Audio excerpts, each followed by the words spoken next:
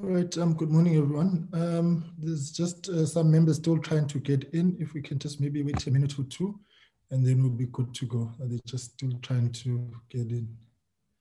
Thank you.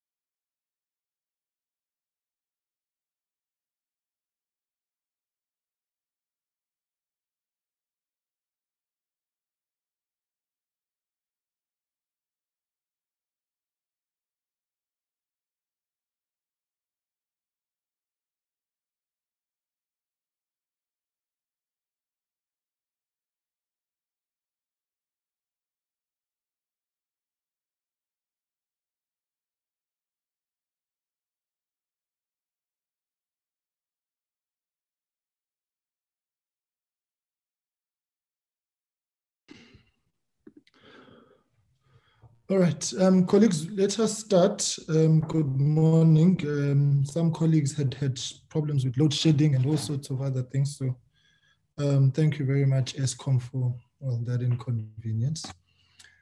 Um, so colleagues, this morning we are meeting with the SIU um, to give us an update on the investigations insofar as PPE procurement is concerned, amongst others, and the issues that were raised yesterday um, and um, I'm, so I'm sure we'll get an update to that. They may not necessarily have all been included in the uh, the presentation, which we had received um, on Monday.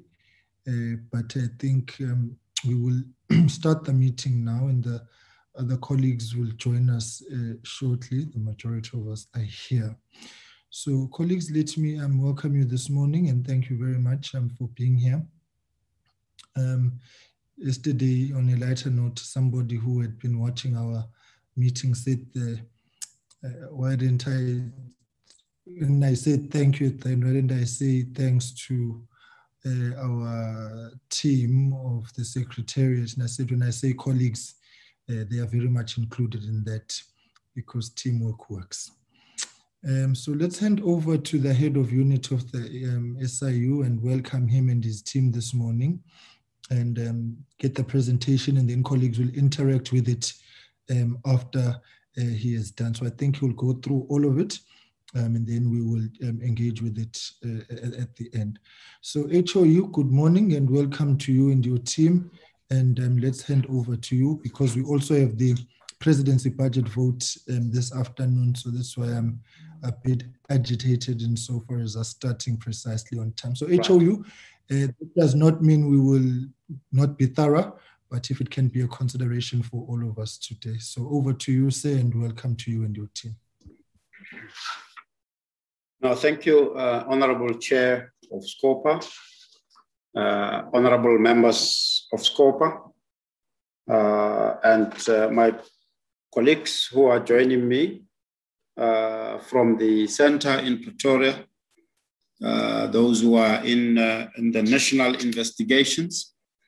And, uh, an honorable chair and honorable members, I'm also joined by the heads of provinces in, in various provinces. Uh, as you indicated, Chair, some of them reported uh, experiencing uh, connectivity issues. It might be because of load shedding, but they will join in uh, once they are ready to. So I will do the presentation um, and when the questions uh, are posed, uh, the heads of the provinces where the investigations are really happening uh, will assist in taking the questions, including the national uh, investigation. So we are a team dealing with, uh, with this investigation uh, if I were to proceed, um, uh, I'm informed my colleague, Mr. Lekgetho, has been given the right to project the presentation. So Mr. Lekgetho, if you can uh, project it, please. Thank you. Uh, with your permission, Chair, I'll move on. Uh, if you go to slide number three. Uh, this one, Chair, I'll not spend a lot of time on it. We always remind us that uh, we are executing the mandate of the Special Investigating Unit as mandated by the Special Investigating Unit and Special Tribunals Act of 1996. Uh, I will not go much. We have already presented several times to the Portfolio Committee on our mandate. If I move on to slide number four, Slide number four, Honorable Chair and Honorable Members, uh, we always indicate that uh, as we do our investigations, we always would like to reach these outcomes, um, of course, informed by the evidence that we would have gathered. We would like our performance to be measured around how we reach these outcomes and based on the evidence, how quickly we then institute civil litigation in appropriate instances, how quickly we refer um, matters for officials who are guilty of misconduct according to the evidence, and how quickly those disciplinary processes are instituted. We will also want to be measured by how quickly we, in compliance with our legislation, when we find that there's criminal activity, we refer to the National Prosecuting Authority. And of course, it's important that uh, uh, the, the, the, the, process also uh, is speeded up to ensure that the decision is taken whether to prosecute or not to prosecute. We also uh, uh, would like to be measured on how we interact and collaborate with other regulatory authorities, such, such as SARS, FIC, and you will see later on, Honorable Chair and Honorable Members, uh, there's reference to the Competition Commission and other regulators. So this slide is very important in the sense that these are the outcomes that we seek to achieve, and we can only make impact if all these outcomes are reached, as I always say, based on evidence and they are executed speedily. At the bottom, of course, we contribute towards the improvements in the system uh, to ensure that uh, these irregularities do not occur. We go to slide number six, please. Slide number six just reminds us, Chair, and we present to the Honorable Committee that we do our work uh, with the view of always making an impact. And that impact is at the top is the impact statement of ensuring that we rid our society of fraud and corruption, including maladministration and malpractices in state institutions. Of course, we are mindful that uh, it's not only in state institutions, as you will see, that there are also private sector companies that also uh, take part and are implicated in these irregularities. So we'd like to rid the society uh, of, uh, of, of all of this corruption and maladministration. We continue to say our vision is that as we do our work effectively, we would like to be the state's preferred and trusted anti-corruption, forensic investigation, and litigation agency. When state institutions would like to institute forensic investigation, Chair, we would like those state institutions to have the special investigating unit top of mind. And we are aware that we can only be preferred if we do our work effectively. Uh, our work and the delivery programs at the bottom there's the administration part that supports the middle part, which is the investigations, which is the core business.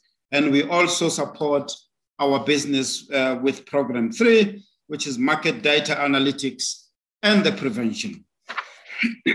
Sorry. Uh, the slide number seven, please. Slide number seven, just in brief, Honorable Chair and Honorable Members, we would like as SIU as a leader and stakeholder in the fight against corruption, we have you know, four outcomes that we have really identified as part of this year's strategic plan to articulate our efforts in the fight against corruption. We would like to always be a compliant, high performing organization that is well capacitated to rid society of corruption, maladministration, fraud in state institutions. We would like to, at all costs, ensure that state assets and cash resources are protected from maladministration, fraud, and corruption for the realization of the full value for money for state programs. We'd like to ensure that confidence in the governance systems and structures and policies of state is restored and maintained with greater focus on consequence management, recovery of stolen money and assets, and of course, following up on referred uh, criminal matters. We'd like to ensure that corruption, maladministration, fraud, and I would add uh, mal, uh, malpractices are deterred through proactive preventive measures. Uh, I'll, I'll, move on to slide number nine. Uh, from slide number nine to slide number 11, Honorable Chair and Honorable Members, uh, we, as we always do, we source the data from National Treasury just to have a view on the expenditure to date uh, that was that was spent on the COVID-19 uh, relief measures. Um, so on slides, uh, I'll not go into detail. Uh, all slides really indicate uh, the kind of expenditure that we source, as I say, we source this data from, from National Treasury. if I just flip over to slide number 12, Slide number 12 indicates that uh, we have determined that uh, the which, total which you, uh, Chair, Honorable Chair. I'm sorry, but it may be worthwhile though to take us through the numbers.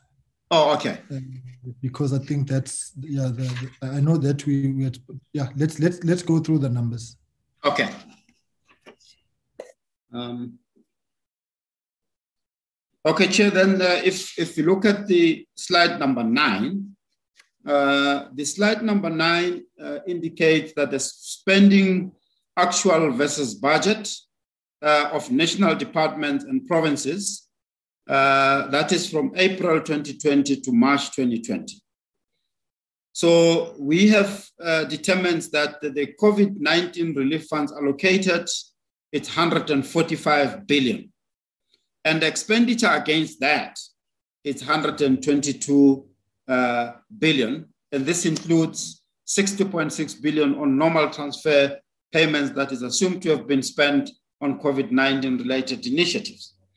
So Chair, that slide, uh, this slide just really indicates that uh, on the left-hand side, you'll see that uh, the most expenditure uh, goes on to support vulnerable households uh, followed by the expenditure in the health, and followed by support to municipalities, uh, uh, and, and then other frontline services, and basic and higher education, uh, support to public entities, and then other COVID-19 interventions, uh, national employment creation allocation, and provincial employment creation allocation. Uh, the highest expenditure there, as you can see, uh, runs up to about 40, 40.8 uh, billion.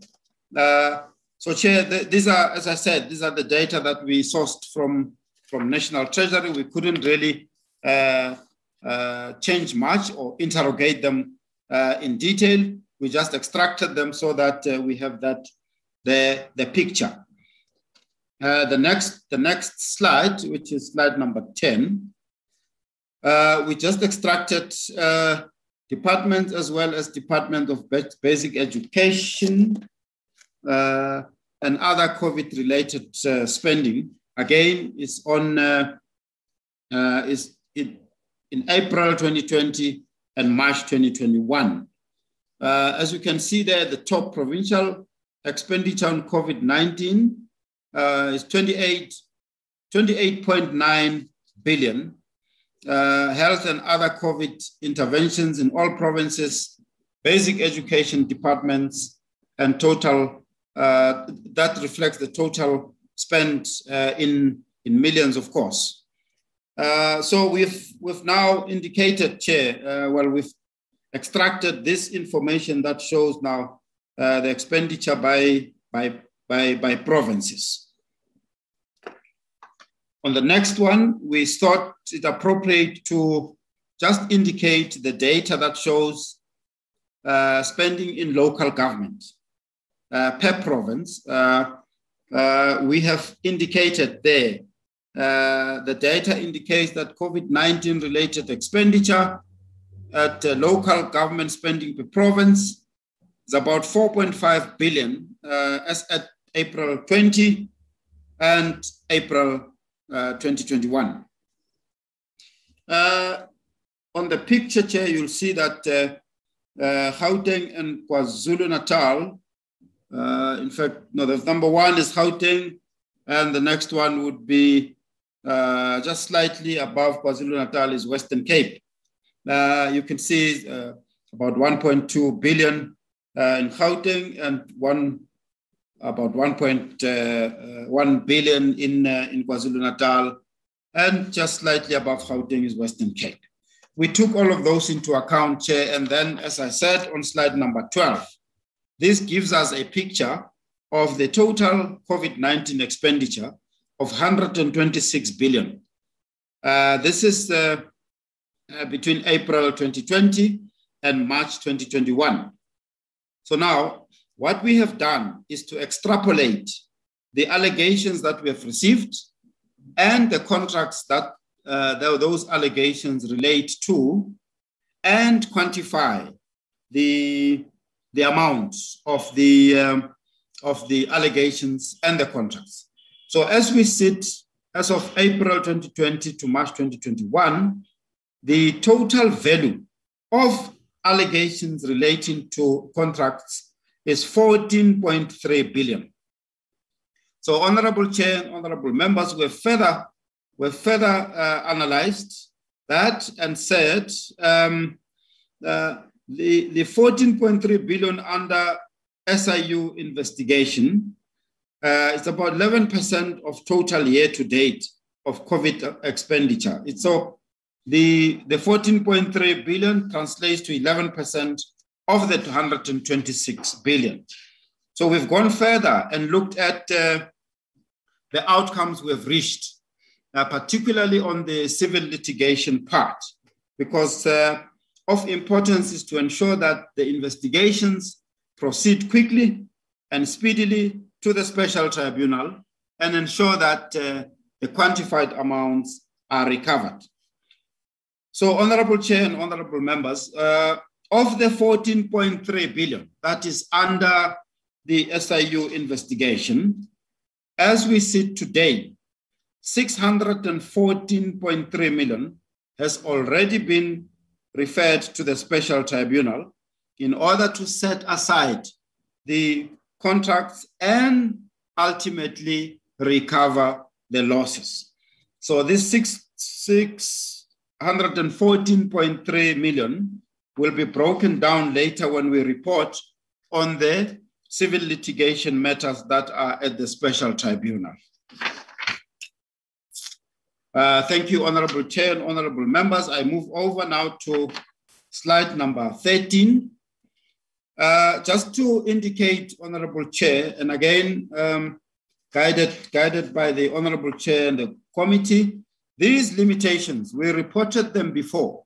Uh, uh, so the way we have structured our report is to then say, having reported this before, are there any new limitations that we have uh, picked up as we continue with our investigations.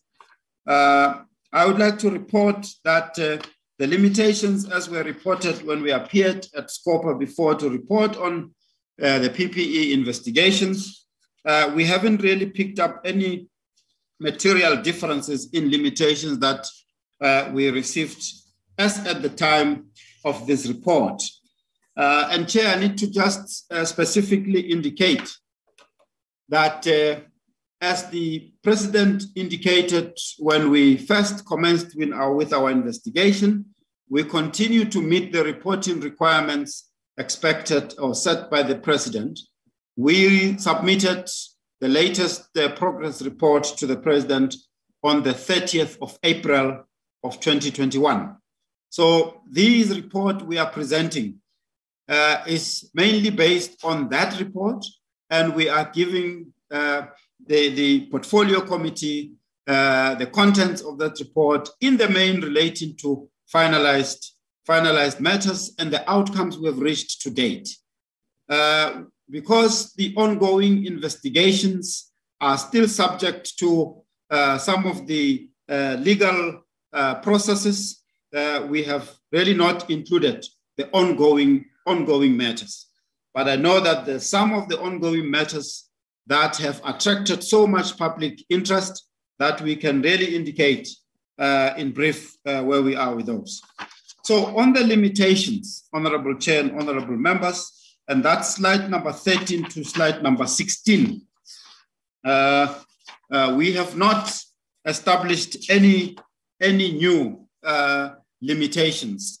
But I'd like to just emphasize on slide number 15. If you go to slide number 15, there's a, uh, it, it, it's an observation that we continue to, to come across around the witnesses who feel uh, fearful. But uh, as we say there, as in terms of steps taken uh, at the bottom, uh, witnesses are allowed to bring in their legal representation, and some were sent interview questions, which they had to respond to and sent back to the investigating teams. Of importance, protected their identity and requested them to report to the SAPS if there is indications of uh, unsafety. Another important aspect is that we do, we do disclose and educate them around the uh, witness protection, uh, witness protection program. So it is very important, uh, Honorable Chair, that uh, I, I uh, single out these ones simply because we depend on these witnesses to bring evidence forward. And if they are not protected and ensured of their uh, protection and the credibility of the process, uh, our investigations are likely to, to be negatively affected. But to date, we have really ensured that uh, uh that program works and works well. Uh, another point that I could probably just single out is on slide number 16. Uh, and on the steps taken relating to uh, the availability in the banking industry. Um, uh, on the steps taken in that block, uh, it's very important to emphasize that the Fusion Center continues to be of value and uh, some of the matters that we will report on also bear the consequences and the results of uh, the collaboration at the Fusion Center. And the FIC in particular has been very instrumental with the financial profiling of relevant uh, service providers. Uh, of course, we've worked together with them to ensure that we speedily uh, uh produce, produce the results. Um, now, on the, on the observations, which is slide number 17, the observations, Honorable Chair and Honorable Members, similar to the limitations. We've presented them before. These are the observations, amongst others, on the modus operandi that is employed by these corrupt and maladministrators, if I were to put it that way, uh, in, in, in order to uh, gain, uh, gain unlawfully from this uh, COVID-19 procurement. So in the past, when we appeared before, uh, we presented these observations.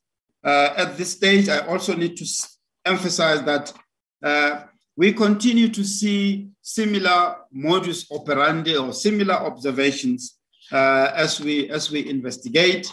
There hasn't really been any material difference. Of course, we continue to, to assess and see how is it that all of these corrupt practices are perpetrated, uh, just so that as, uh, as investigators, we can really be on top of how do we investigate and, and mitigate this. So these observations are still as at the 10th of February 2021, and they are on slide number 17 to slide number 22, Honorable Chair and Honorable Members. Um, uh, honorable mem members, I would like to, with your permission, Chair, move over to slide number 22. This is the contracts under investigation. If you go to slide 23.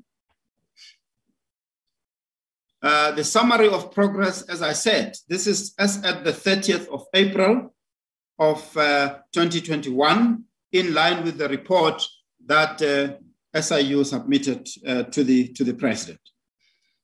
As at that time, the number of PPE contracts awarded for COVID-19 related services under investigation by the SIU uh, is currently 4,117. And these contracts were awarded to 2,251 service providers. And as at this date, 40% of these contracts have been finalized. 54% are ongoing. Um, I think we've used uh, inadvertently used the word assessed there, but in the paragraph, in the diagram itself, it says ongoing. These are ongoing investigations. Um, so all in all, we've got 94% uh, of matters that have been finalized in 40% and 54% ongoing. And we have reported that these investigations uh, that are on our books should be finalized come the end of August. But it's important, as we said before, that we continue to get new reports of allegations of this, uh, of this uh, uh, maladministration and irregularities. And by nature of our work, we cannot close out the new reports being made, but we would like to ensure that uh, uh, the significant part of these investigations, or at least as at the 30th of April, all of these investigations should be completed uh, by the end of August. Some will be uh, completed uh, before end of August, and we will report as and when we are uh, requested and, to, to come and present to SCOPA. The next report would probably be around uh, mid, middle uh, towards the end of June. and we will show another picture of, of the matters, of the summary of progress. The matters that are still yet to commence, and this is the part that I say, these matters also include those that keep coming in. Uh, uh, but uh, as, as we sit, and you can see there, Chair, that uh, uh, they, they uh, count up to 6%. So in terms of the diagram, finalized matters as at the 30th of April 2021, the number of service providers is 835, translating to 1,071 contracts. And the value thereof is 5.7 billion. The ongoing matters, uh, it's about 1,084 service providers, translating to 2,695 uh, service providers, and the amount of these ongoing matters translate in value to 7.6 billion rands. The matters yet to commence, we've quantified the value of the irregular contracts there to 878 million. So all of these, as we indicated above, they give us about 14, uh, just above 14.2 billion uh, under, under investigation. The next two slides, Chair, uh, Honorable Chair and Honorable Members, uh, we thought it appropriate that we could dissect all of these matters that have been finalized by provinces so that the Honorable Committee can see uh, the, the manifestation of these numbers. Um, I won't go through all of them, but uh, just the top three by value by value, uh, if you look on the right-hand side, uh, the in, in, the KZN, um, about uh, 159 service providers and 249 contracts. Those have been finalized and are valued at uh, uh, just above 2 billion rand. And it's followed by uh, bottom left.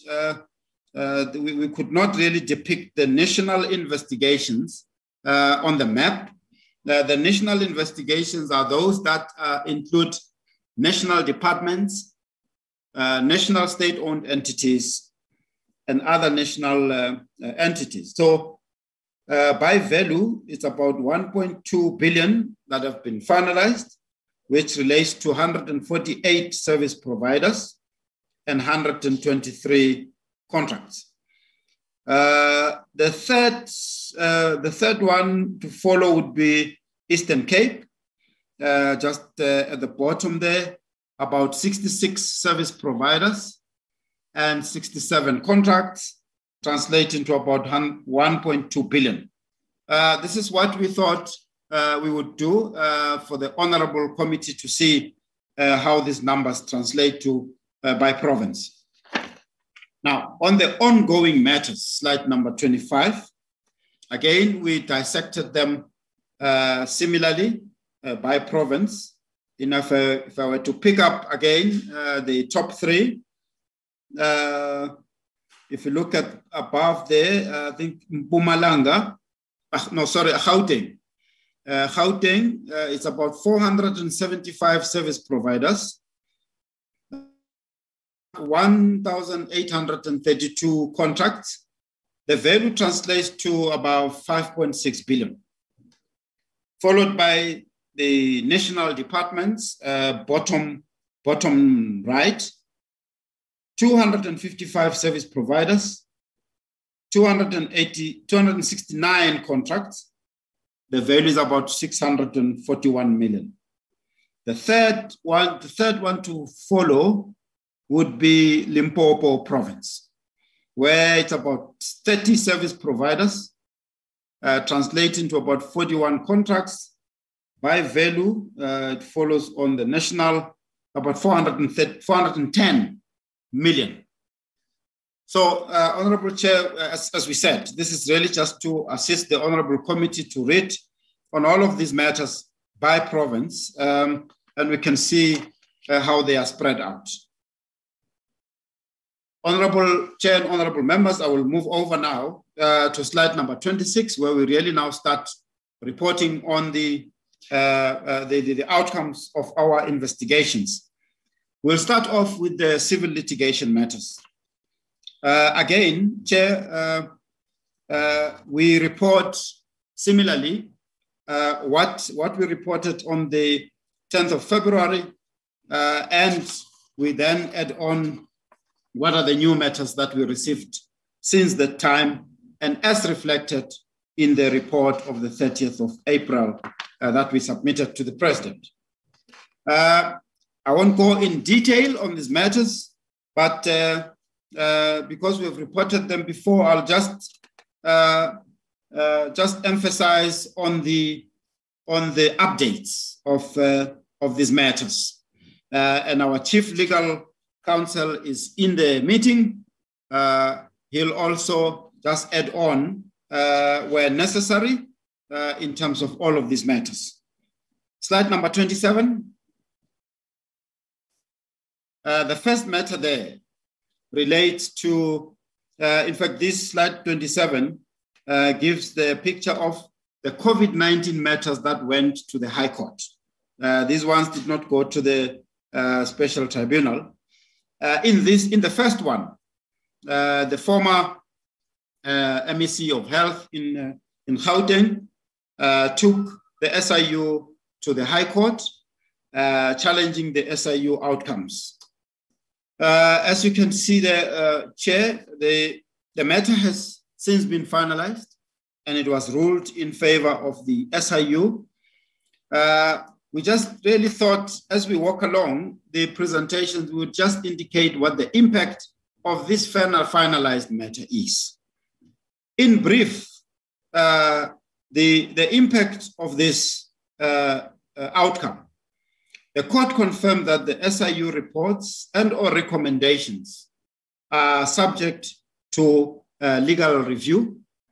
Uh, uh, previously, the view that uh, we held was that, as for example, if we refer a report to a state institution for disciplinary action, for example, our view was that that is not a final, uh, a final uh, action uh, the matter still has to be subjected to an inquiry or a um, disciplinary inquiry where a final decision will be made. But the court had a different view, said that report of SIU is the report based on which action is going to be taken, on inquiry is going to be taken. Those reports are therefore uh, reviewable. We do not have issue with that because we believe that uh, our reports and findings are based on the credible evidence that we gather. And of importance, the outcome of this, uh, of this decision, Honorable uh, Chair and Honorable members, really is that it does settle the issue around the, the, the, the executive or the responsibility of the executive authorities. In our submission to the court, we were of the view that there's a certain standard that is required of the executive authority to exercise the oversight over the department uh, that he or she uh, oversees. And we went into detail in terms of uh, uh our submissions to court. And the court uh, agreed with the submissions of SIU, differed and dismissed the, the challenges of the former of the former MEC. So we are pleased that uh, the court has really now settled that matter. That, uh, of course, it depends, as we always say, on the evidence that we gather that points to the, the responsibility of the, of the executive authority. And we will make a finding based on the evidence that we gather, whether we are of the view that any particular executive authority failed in the exercise of his or her duty in the oversight of the department. So this is a very important decision uh, for, for, for, for, for the state in particular, and I would say at all levels. All officials need to understand the principles and the standard that the court pronounced itself on, particularly the executive authorities. Uh, I thought I would spend a few minutes on that one because it's a very, very important decision. And we will continue to use that decision, amongst others, uh, to assess uh, uh other uh, executive authorities as we investigate whether they are found wanting or whether they've executed their duties uh, accordingly. Right, the rest of the matters, Chair, really just give a, an update. The next matter, which is in the Western Cape, is in the special tribunal. You'll see on the progress to date part. Uh, this matter is still at the special tribunal. The parties are exchanging pleadings, and the matter will be enrolled for hearing on the 31st of, uh, of May. Uh, I know the date has passed. I've requested uh, our chief legal counsel to give an indication of what transpired on these dates that have passed. Uh, similar to the next one, uh, which is in the Eastern Cape, relating to uh, the, the project against the Nelson Mandela Bay Metropolitan Municipality. Um, the parties there are similarly exchanging pleadings and applications will be made for hearing on the 31st of May. Uh, again, uh, our chief legal counsel uh, will give just a brief update on uh, what transpired on the 31st of May. The next, uh, the next slide, which is slide number 28, please. Uh, slide 28, yes. Um, the top one uh, is the in the Free State province. Uh, these are all the service providers uh, where we have found that the, the, the procurement process was irregular. Um, again, in this this matter is already at the state, uh, at, at the uh, special tribunal. An application to recover losses was launched, uh, and the case management hearing is scheduled for the 3rd of May. Uh, again, the date has passed. Uh, I would like uh, our chief legal counsel to give just a brief update so that the honorable committee is kept updated. The next one is part of the matters in the Gauteng Gauteng Province, Department of uh, Health in particular. Uh, again, the, CFO, the, the, the, former CFO of Gauteng uh, is also uh, involved in this matter. The pension was frozen. In this case, we are saying the SIU will apply for case management on the 3rd of June, uh, which is tomorrow. Again, still in Gauteng, uh, Zakheni Strategic Supplies Again, it's in the Department of Health uh, in Gauteng.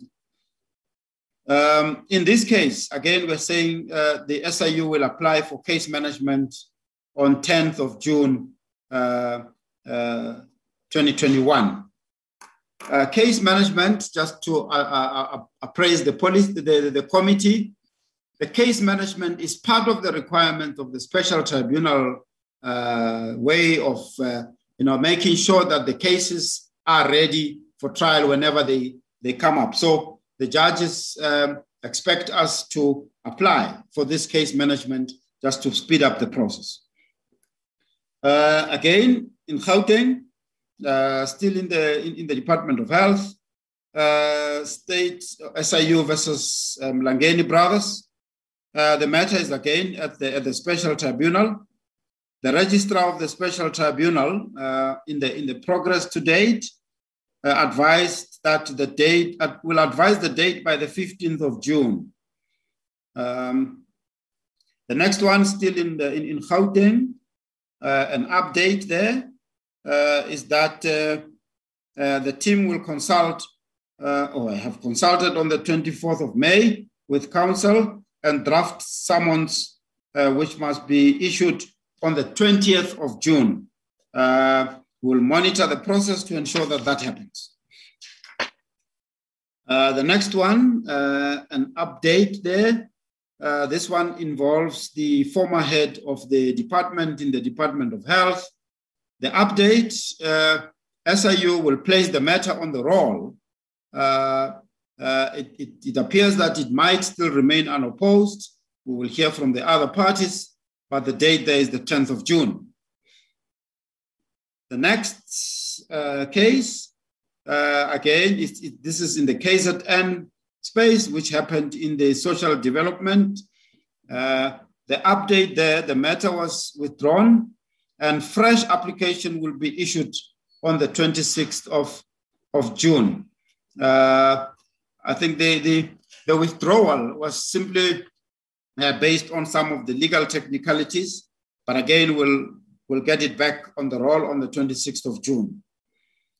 At a national level, uh, uh, the Department of Land Reform and Rural Development, uh, we have we have freezed the the, the, the pension of, uh, of, of an official there, um, I think was the head of the SCM, uh, Mr. Mr. Satsuayo, uh, who was involved in the SCM process.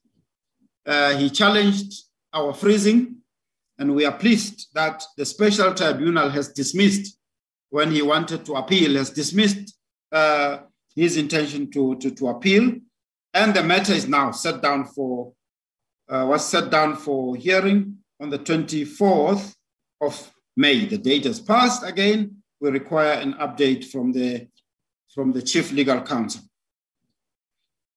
Uh, in the Northwest, uh, the SIU versus Mudiko Thabang.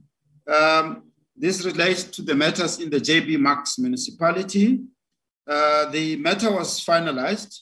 Uh, this was specifically relating to the pension benefits of the SCM manager which was freezed uh, in lieu of an action proceedings. So the freezing remains until, until the matter is finalized uh, in, the, in the special tribunal. Again, in the Northwest, uh, the, the matter was instituted against Mr. Selemale, who is the SCM manager. Uh, uh, this, the, the court papers, as we always indicate, are public. That's why we're able to mention these names, but under normal, oh, well, under normal circumstances where the matter has not been to court, uh, would be unable to mention the names. Um, uh, the update on this matter, again, uh, we will require an update from the Chief Legal Counsel. The date has passed. The SIU is awaiting date for case management and will reply on 31st of May. Um, before I move over to the new matters, uh, uh, sorry, this, these were the new matters, Honorable Chair, uh, uh the new ones uh, since, since the last appearance. Um, uh, and these ones, civil matters as per previous requests to appear, these ones would have been the ones that we reported before. Apologies for that. But I will still give an update on, on that. Um, but before I move on, I would like just to pause here, Honorable Chair, with your permission, just so that we, we complete our presentation, the Chief Legal Counsel can give just a quick update on where those matters are, where the dates have passed, uh, and there's very few of them. Uh, Dr. Wells, if you can please update the Honorable uh, Committee on, on, on, on, what became on those uh, days that have passed. good morning. Um, good morning, uh, uh, Honorable Chair, Honorable members. Uh, the specific matters that I'm going to give feedback on are two matters that's on slide 26. That is on the second and third matter. Um, uh, in respect of the Western Cape matter, you will note the heading there. These matters are in the High Courts. So it's in the Western Cape High Court. Uh, uh, um, and the second matter is that the SIU is now filing a supplementary affidavit and we will apply for the, for the matter to be enrolled on the 9th of June. This matter, as far as we know, still remains unopposed. Uh, the second matter that uh, requires further reporting is the Eastern Cape matter. That matter has been set down on the 19th of August 2021. That's the day the matter will be heard in court. Uh, we can move to slide number 27 uh, on the report of number one, the matter will be heard on the 26th and the 27th of August 2021. Um, uh, if we can move to slide 28, number eight and nine, I will report on. Slide 28.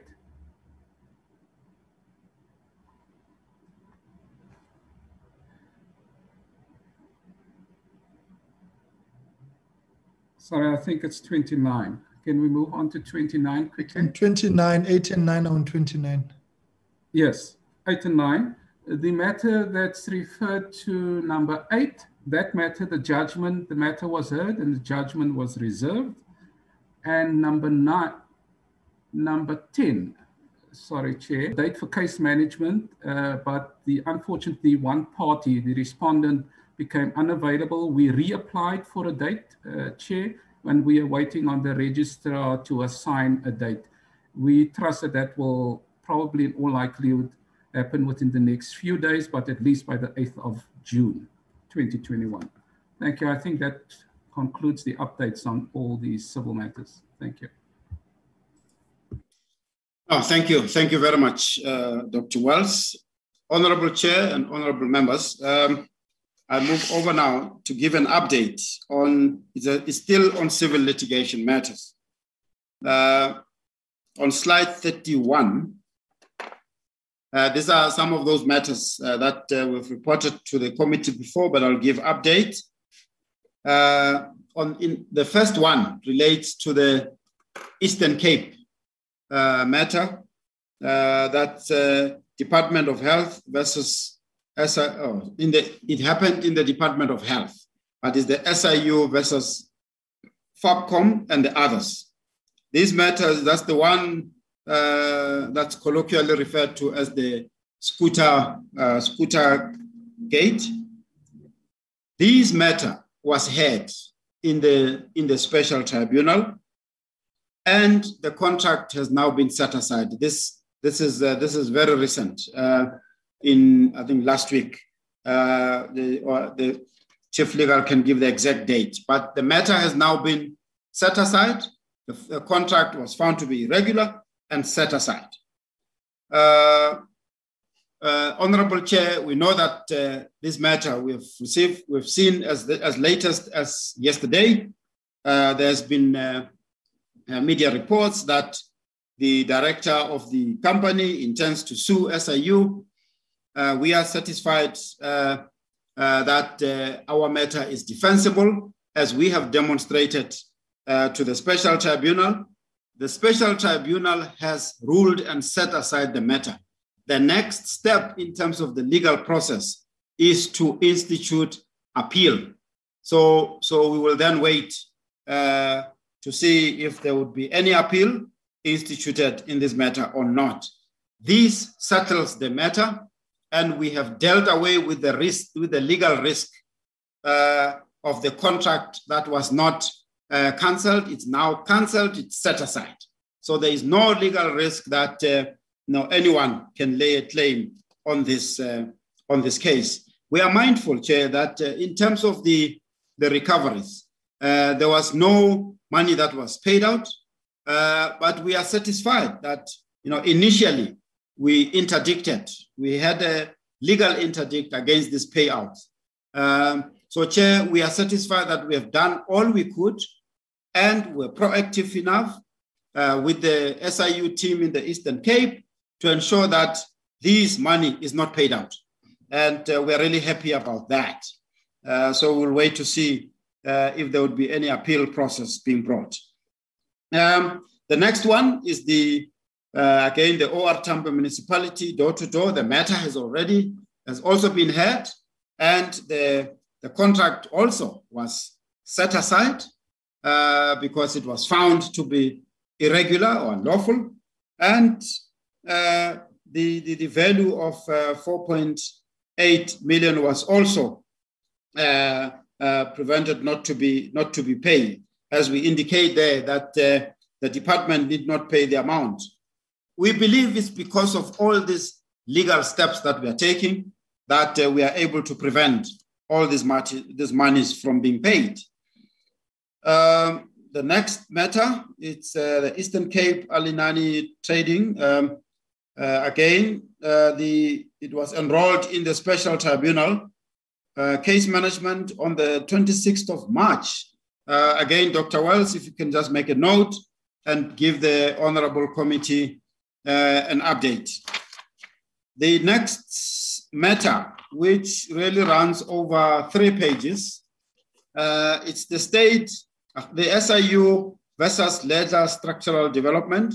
This matter emanated from the Department of Health uh, irregular procurement uh, that uh, the SIU uh, found in, in, the, in the Gauteng Department of Health.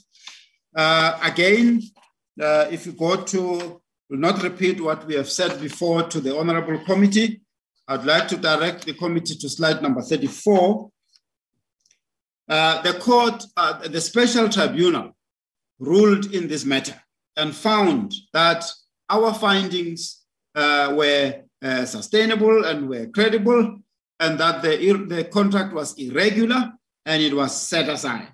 Uh, so, so the, the amount of 26 million was forfeited to the state. And this was the amounts which were freezed when we first started in various accounts uh, of these service providers. We are pleased with that outcome, Chair. Um, the next matter is the SI, SIU versus uh, Kabelo Mantu Lithuania. Uh, again, this is the, um, the former uh, MEC of uh, uh, the former head of the Department of Health and MEC for Gauteng, for Gauteng. The matter has been set down for hearing uh, it supposedly started uh, yesterday to the 18th of June. Uh, just a confirmation, Dr. Wells, that the matter has indeed started. Um, the National Department of Public Works and Infrastructure, uh, Honorable Chair and Honorable Members, the, the, Honorable Committee would be very familiar with this matter. Uh, again, this matter relates to the Beitbridge border fence uh, the parties also sought to challenge the jurisdiction of the special tribunal.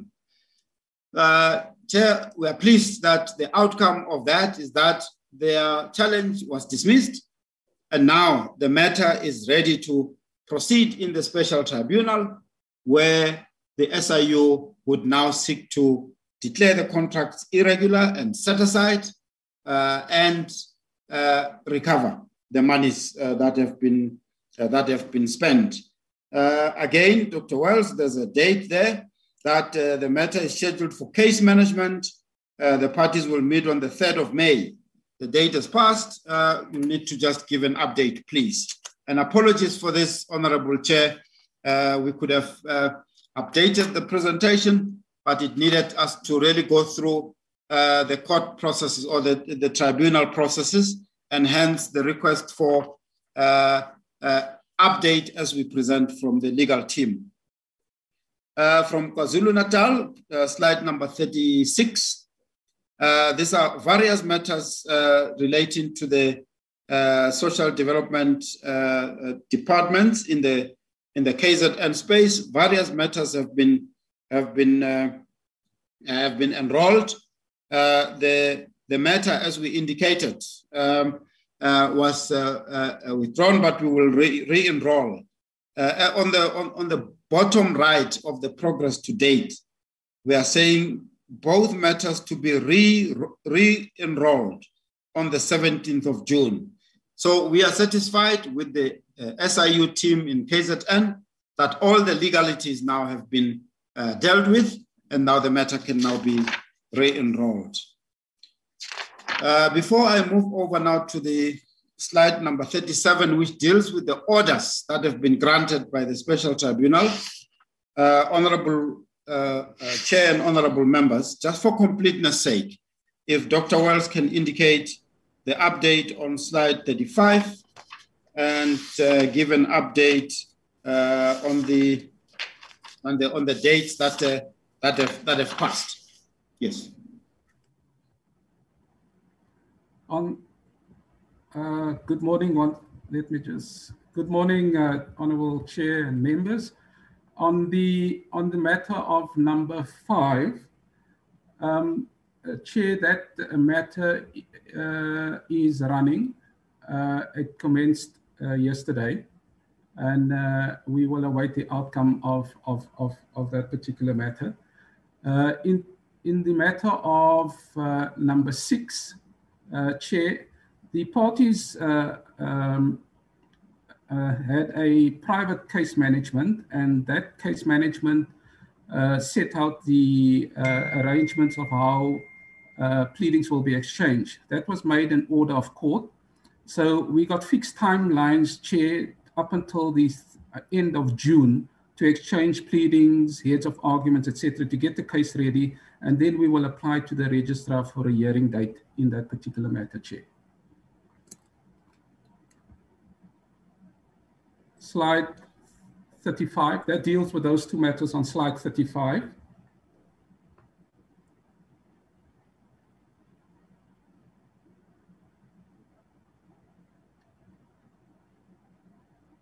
I think those are the two matters that I needed to report on HAU.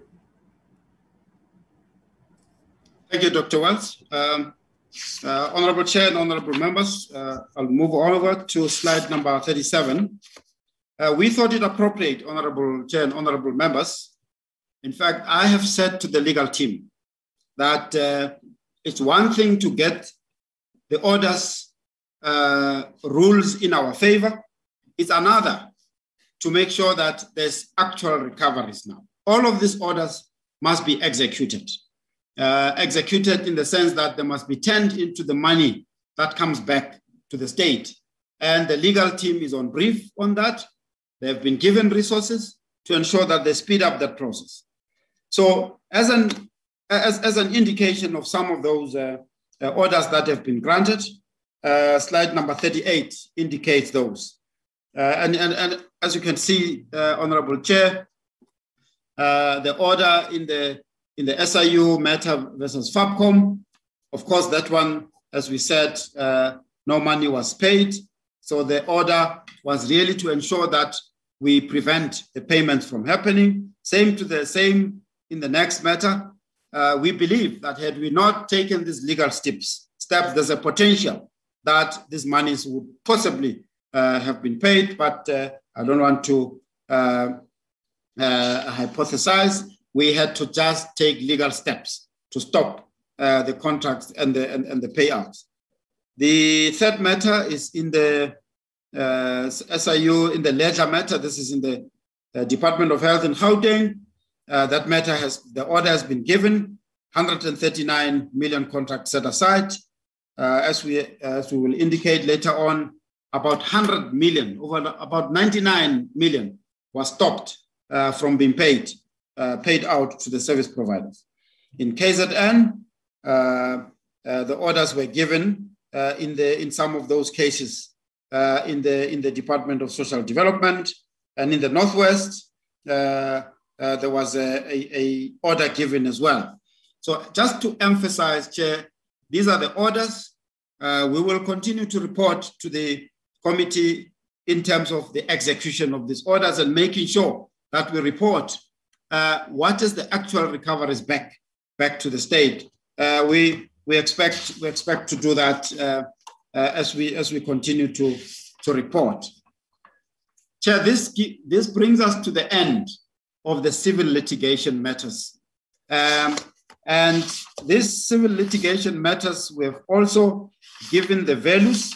Uh, this would have been, this would give a breakdown of uh, uh, the slide, the slide that we that we uh, indicated of the matters that are at the at the special tribunal, totaling uh, six more than 600 million. So this is a breakdown of of that of, of that slide and the matters that are at the at the at the special tribunal, uh, totaling about 614 million, is on slide number 12. Now, we move over now to to slide number 39. Now, just to indicate, Honorable Chair and Honorable Members, as we presented when we started the outcomes, the, the, the, the civil litigation deals with the outcomes relating to the litigation process. And we have reported to the committee before that that is the process that SIU has control over end to end. That is why we are able to tell and, and report to the honorable committee when it started and when they ended and when they will be you know, executed to actual recovery. And honorable chair and honorable members, we are really pleased that the speed at which the special tribunal is adjudicating on these matters, it's really, really making sure that we make an impact uh, and we will continue to ensure uh, that uh, uh we, we, we speed up uh, our, our matters in, this, in, the, in the special tribunal. Now, going to uh, slide number 39. Slide number 39, uh, slide 40. Slide 40 deals with uh, now the, the matters that we have referred for disciplinary action. Now, this is one of those processes where we do not have end to end control. Of course, we initiate it. We find evidence in our investigation that officials of state in various state institutions made themselves guilty of misconduct in this procurement irregularities. We take the evidence, we take it to the accounting authority or accounting officer, as the case may be, and we expect that action is taken.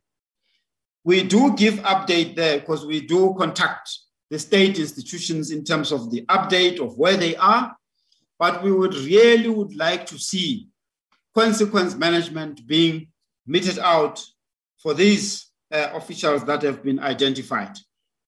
Uh, these are uh, slide number 40, 41 and 40, up to 43. Uh, they deal with the new matters, the new referrals for disciplinary action.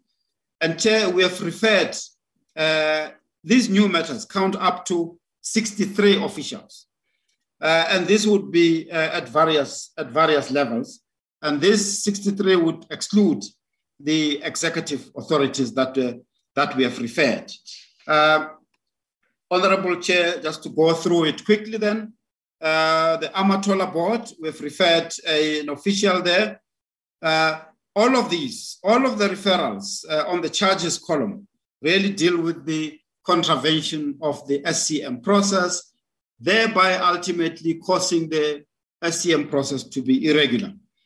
Uh, uh, in, on, on the first one, uh, we've referred we've referred this to the Amatola board. But Chair, if you can see the progress there, no disciplinary action has yet been instituted against the official. That we, we, we, we are really concerned about that. Similar to the second one, where we have referred a matter to the Eastern Cape Department of Education. We have found out and we're reporting no disciplinary action has yet been instituted against the official. Similar, Eastern Cape Department of Education is a referral against the uh, middle management official. No, and, and we have the date of the referrals, uh, Honorable Chair and Honorable Members. Uh, the first one referred in March, second one in April, uh, third one in April of 2021. Um, uh, third one, no disciplinary action as yet has been instituted.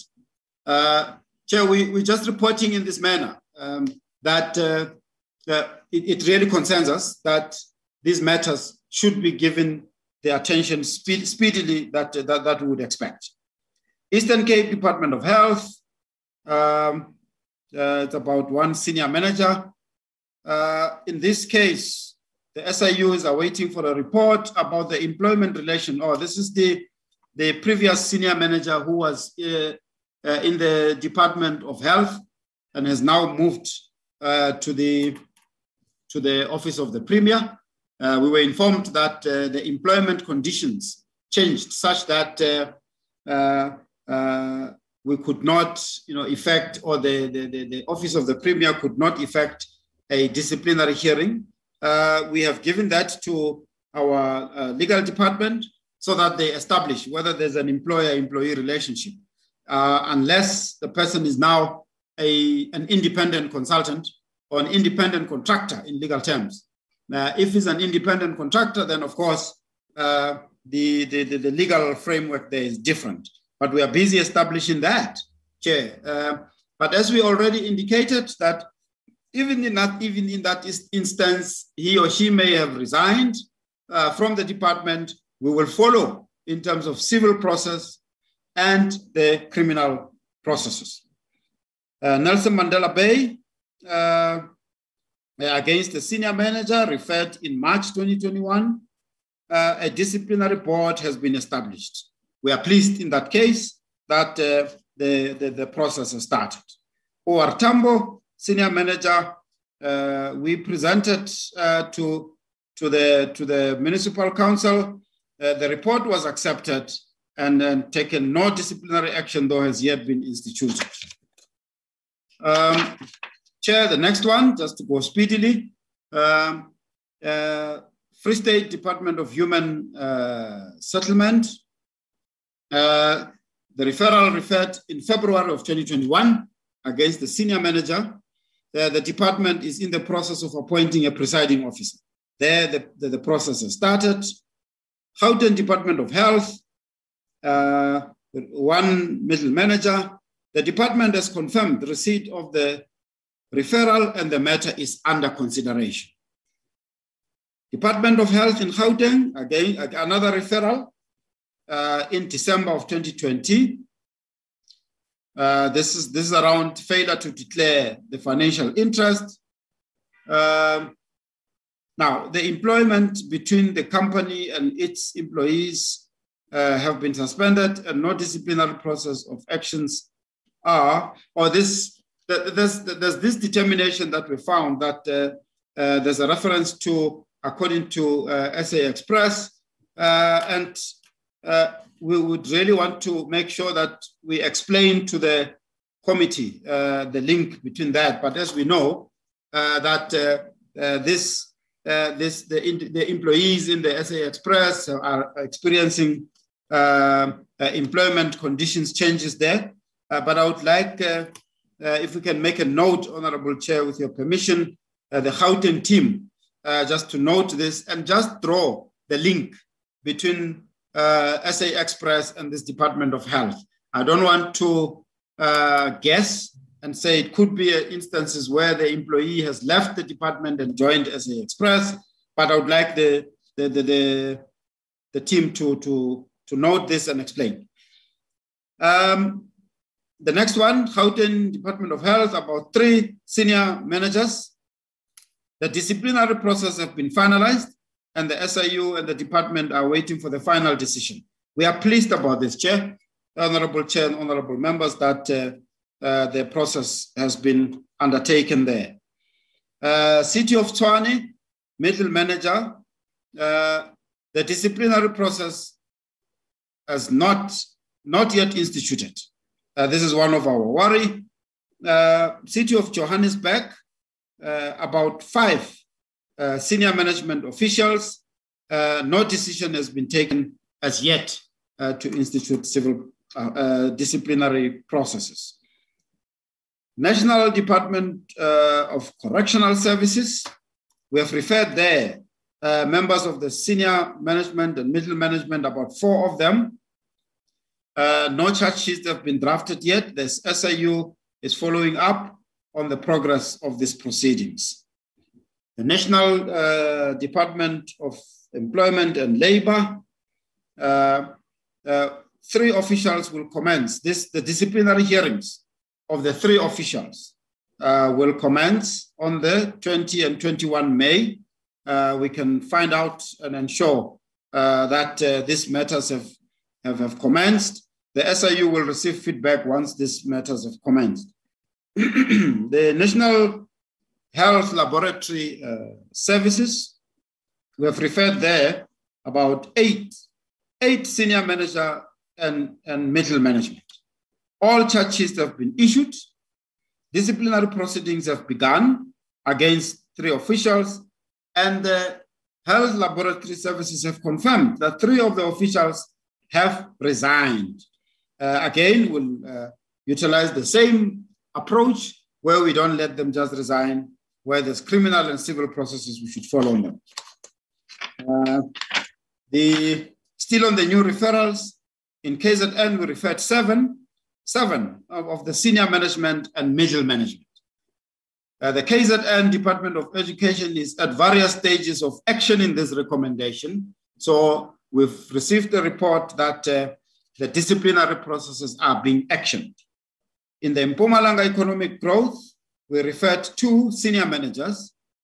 Uh, the Mpumalanga economic growth has not yet commenced with disciplinary proceedings. Again, uh, another official, the middle manager in the Mpumalanga Economic Growth Agency, uh, in that case, uh, the Mpumalanga Economic Growth Agency has not yet commenced with disciplinary process. Again, Mpumalanga Department of Health, we've referred for uh, senior uh, management and middle management. In that case, the HOD has informed the SIU that the referrals have been sent to their lawyers for, for review. Uh, the, the, the, the Mpumalanga Department of Health met with the SIU for clarity. Uh, the officials will be charged before the 19th of June. This is our uh, information. And now the Mpumalanga Department of Culture, Sports and Recreation. Uh, here, it's four senior managers. Uh, the progress report is that verbal, verbal warnings were issued to both, there's two officials, that have been acted upon. There's two officials more that we still uh, have to determine where they are. But Chair, this is for us worrying. We need to determine, of course, it's, uh, it's up to the due process of the disciplinary process, but we really want to ensure that uh, the punishment that is meted out is commensurate with the charges and the magnitude of the misconduct. Um, uh, we, would, we will check that and ensure that we are satisfied. If it is not, then we will consider uh, what legal process is there uh, to challenge the, that outcome. Um, the, the, the, last part of the new of the new matters, uh, the city of Matlosana, uh, we referred the middle manager uh, the manager is currently on the precautionary suspension. The disciplinary hearing was scheduled for the 24th of May.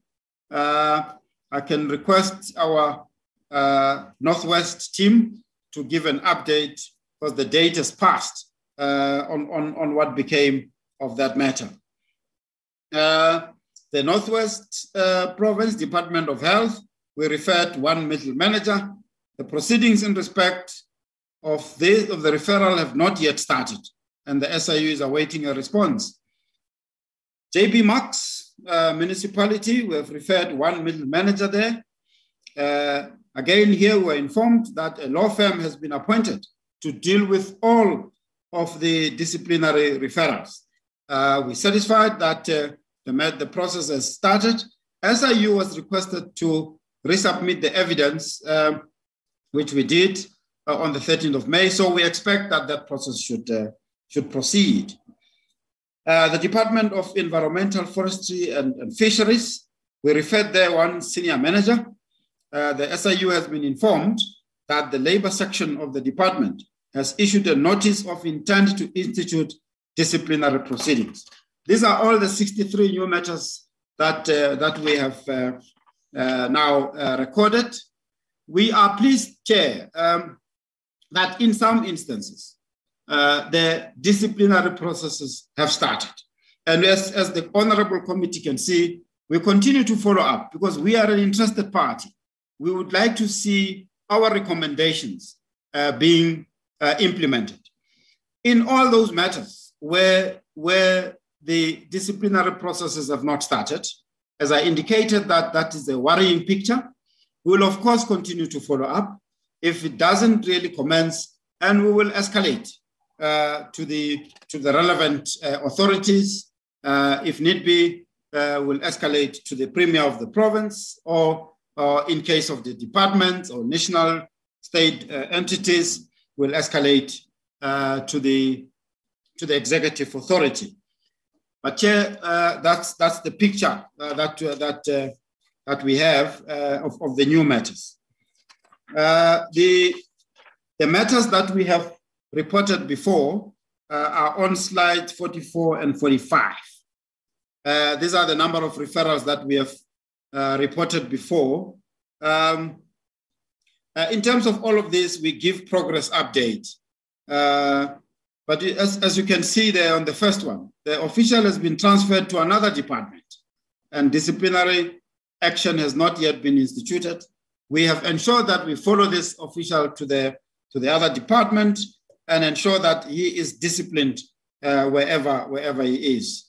Um, uh, on, the, on the next one, uh, which uh, relates to uh, the Gauteng Department of Health investigations. This relates to um, the, the president spokesperson, Ms. Diko. The SIU, uh, as I said, like, like we do with all other state institutions, we have contacted the presidency. The SIU has been informed that the disciplinary proceedings against Ms. Diko uh, will start soon, and that Ms. Diko was given a further opportunity to seek clarity concerning the allegations made against her. Uh, so, Chair, we are, we are satisfied that the, uh, the proceedings are underway and the department or the presidency will continue to give us uh, updates uh, on, on where the process is.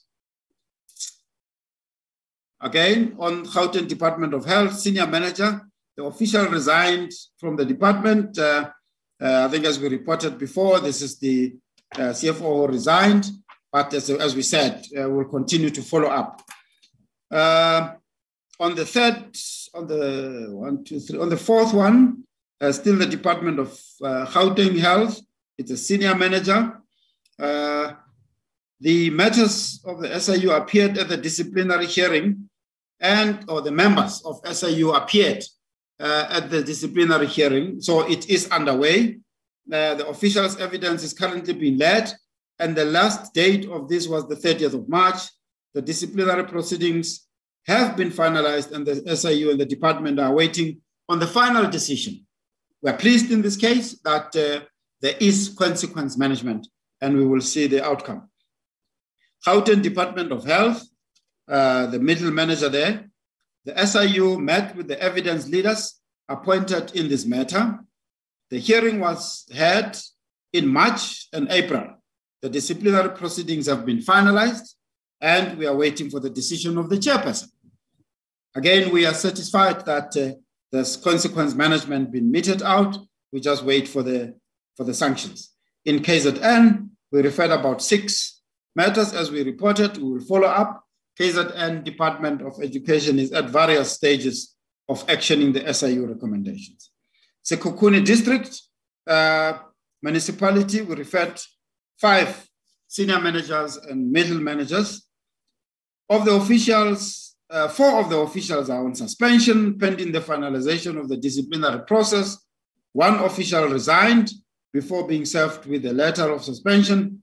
The disciplinary process is, is delayed due to COVID-19 infections in the municipality. As we said, we will follow up on those matters. Slide 45. Uh, in the Mpumalanga Department of Health, uh, we referred to two officials, senior managers and middle managers. Uh, in this case, the HOD informed the SIU that the referrals have been sent to their lawyers for review. So the process uh, is, is underway. Uh, Northwest Department of Education, were referred to metal uh, and middle manager and administrative clerk. Proceedings in respect of one referral scheduled to begin. Uh, this was way back in December, but have been postponed to 10 and 11th of June 2021. All right. Yeah, so the dates are still coming. Proceedings in respect of the other referral have not yet started, and the SIU is awaiting a response. So we'll follow up on that. In the Rato municipality, this is still in the Northwest. Uh, we referred to official senior management and middle management. Uh, the disciplinary hearings have not yet commenced uh, because of the court challenges between the municipality and the newly appointed administrators. So we'll follow and, uh, and, and uh, monitor that, that space. In the JB Marks local municipality, we referred uh, two senior managers. The two officials were suspended and they have challenged their suspension uh, uh, under urgent court application uh, in the High Court, uh, seeking an order from the court to declare the respective suspensions unlawful. The court dismissed their applications with cost, and the disciplinary hearings uh, were scheduled for the 17th of May. we can give an update. The Northwest team can give an update there, Chair. Perhaps, uh, Chair, just so that we don't, in the interest of time, uh, in all of these days that have passed, uh, we can just collate an, a, a, supplementary report to the ordinary to the uh, uh, honorable committee so that we, we the teams can collate the information and show where the where the process is. Uh, Chair, if adding the new ones and the old ones that have been referred before, we are now talking about 88 uh, state officials uh, that uh, have been referred for disciplinary action. And as we said, we would like to ensure that uh, all of this, all of these uh, referrals are actioned. Chair, on the slide 46 and 47, slide 46 and 47, there are about 44, 44 referrals uh, that we have been made, that we have made uh, for prosecution. Uh, Chair, again, similarly, we provide a progress update, but our officials uh, and the leadership at NPA, uh, while we one way or another give an update, uh, that the preference is for the NPA to give update themselves. So, Chair, in this regard, we can really report that uh, the new matters that have been referred to the NPA total up to 44, uh, and the previous ones were 38, and on slide 48 and 49. So the total number of cases that have been referred for consideration by the NPA uh, count up to 102 and you'll see, say, Chair, uh, we give a date of the referral, the level of the officials, or the entities that have been referred. So as I said, uh, Honorable Chair, uh, the, the NPA would, at an, at an appropriate time, probably give, uh, give an update uh, on these matters to the Honorable Committee. Slide number 50 deals with the referrals made for executive action. This, uh, this relates to the executive authorities that we have found uh, that the, the, the, evidence indicated that they've been found wanting in their oversight responsibilities. Uh, as I indicated, uh, the, it, it, indicated new referral because, for, because of the reporting period. But uh, already it's, it's been referred and we are pleased that uh, the Premier of the Eastern Cape has already acted on this referral. This on slide 50 relates to the um, former MEC of Health in the Eastern Cape. Uh, slide 51, these ones uh, were reported to the Honorable Committee already. Uh, this was the former MEC of Health in Gauteng and the office bearer uh, in the JB Marks local uh, municipality. And we, are, we, are, we are really glad in this case that all of the actions have, been, have been implemented. On the JB Marks 1, we indicated that the SIU was in contact with the MEC of Koksta. Uh, we are pleased that uh, uh, in that regard, also actions have been taken uh, uh, to date. Uh, but the, the, the progress there also indicates that the office bearer has since resigned from the, from the municipality. Um, right, Chair, that, that deals with the deals with the referrals of the executive authorities. The investigations in various provinces are still ongoing. And Chair, uh, given the ruling that SIU obtained from the special tribunal uh, relating to the executive authority, we will test in each and every investigation, we will test the responsibility and the oversight of executive authorities, and the investigating teams are aware of, uh, of, of, that. So we would like to be uh, consistent, even-handed, and, and ensure that we hold everyone accountable in the same manner across all provinces. Uh, now, the, the next slide, Honorable Chair and Honorable Members, deals, uh, slide number 52, 53, uh, and 50, up to 54, no, 50, 52 and 53. This one deals with the topic that we have indicated to the, to the Honorable Committee that uh, we are also ensuring that the service providers, that evidence has pointed that they are also included and involved and implicated in the wrongdoing should not just be left alone over and above the civil litigation process that we take to recover the monies from them whether to refer them to the criminal prosecution. We will also want to make sure that they are uh, blacklisted. Uh, and the word blacklist, of course, relates to an administrative action that is taken to ensure that these civil, uh, these the uh, uh, service providers are restrained from doing business with government. Right, so if I start off uh, without really going into much detail on, in Gauteng, uh, we've referred about 18, 18 service providers. I indicated earlier on that we do interact with the Competition Commission.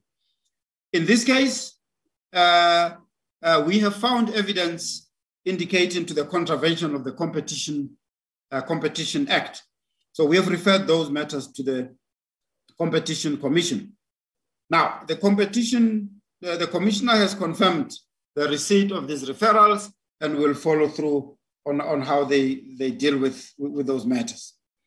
Uh, in Gauteng, still two service providers where we have found the evidence of fraud. In this case, we have then referred the matters uh, for blacklisting but over and above, they would have been referred as part of the NPA referrals. Uh, the Department of Gauteng Steel uh, we have referred uh, two service providers, evidence pointing to the commission of alleged criminal offense. We have referred them for, for blacklisting and over and above the, the referrals for, for criminal prosecution. In Gauteng, additional seven, seven uh, uh, service providers have been referred for blacklisting. Slide 53, again in, uh, in, uh, in Gauteng, 10 service providers have been referred. In this case, Chair, our investigators also looked at whether there has been contravention of the, of the uh, Medicines and Related Substances Act under the auspices of uh, the South African Health Product Regulatory Authority. So we found evidence that points to the contravention of that legislation.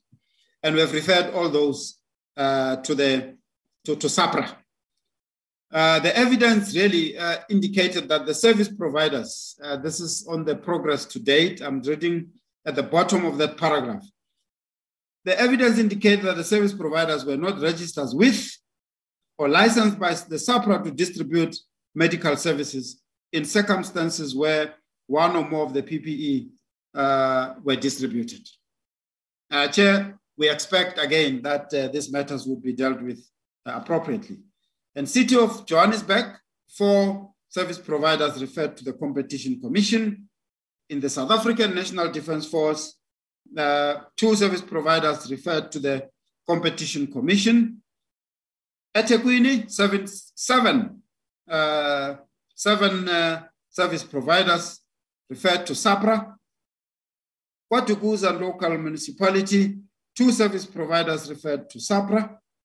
In the Limpopo or Limpopo, COCTA and Limpopo Department of Health, uh, collectively about 33 service providers have been referred. Uh, they would have been referred to various uh, uh, regulatory authorities. But Chair, this uh, blacklisting process is an administrative process which is the responsibility of the accounting authority or accounting officer because these uh, service providers were providing were providing service to the state institution. We will assist in our process with the evidence that we have found so that the process is concluded until the end where the service providers are blacklisted. We're talking about the total of 87 service providers, uh, honorable members. Um, the next slide, honorable chair, deals with the value of new potential cash and or assets to be recovered.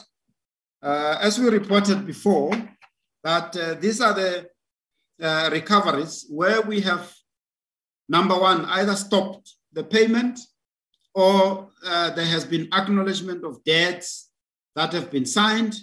Uh, and, and, and again, uh, those acknowledgement of debts do not exonerate the service providers from further uh, uh, damage suit or criminal, or criminal proceedings. Um, uh, Chair, that in, in, the interest of time, I would like really just to indicate that uh, we're dealing here uh, with a total of about 230 million. That is, that is uh, potentially recoverable. So we will ensure that the processes are followed. Uh, like just high level in the Eastern Cape, uh, there, there we, we said we have stopped the payment. Uh, we finalized the matter. There's the matter of Fobcom. The the, the, the, payment was never made. So, so in this one, we will tick it. And uh, when we report next time, we will report it in the actual recoveries appropriately. In the Eastern Cape still, we successfully uh, applied for the special tribunal to have the bank accounts of the four respondents frozen. We will monitor all of these uh, uh orders that have been given and report appropriately whether they have been paid uh, when we report on the actual recoveries. All of these proceed to slide number 55.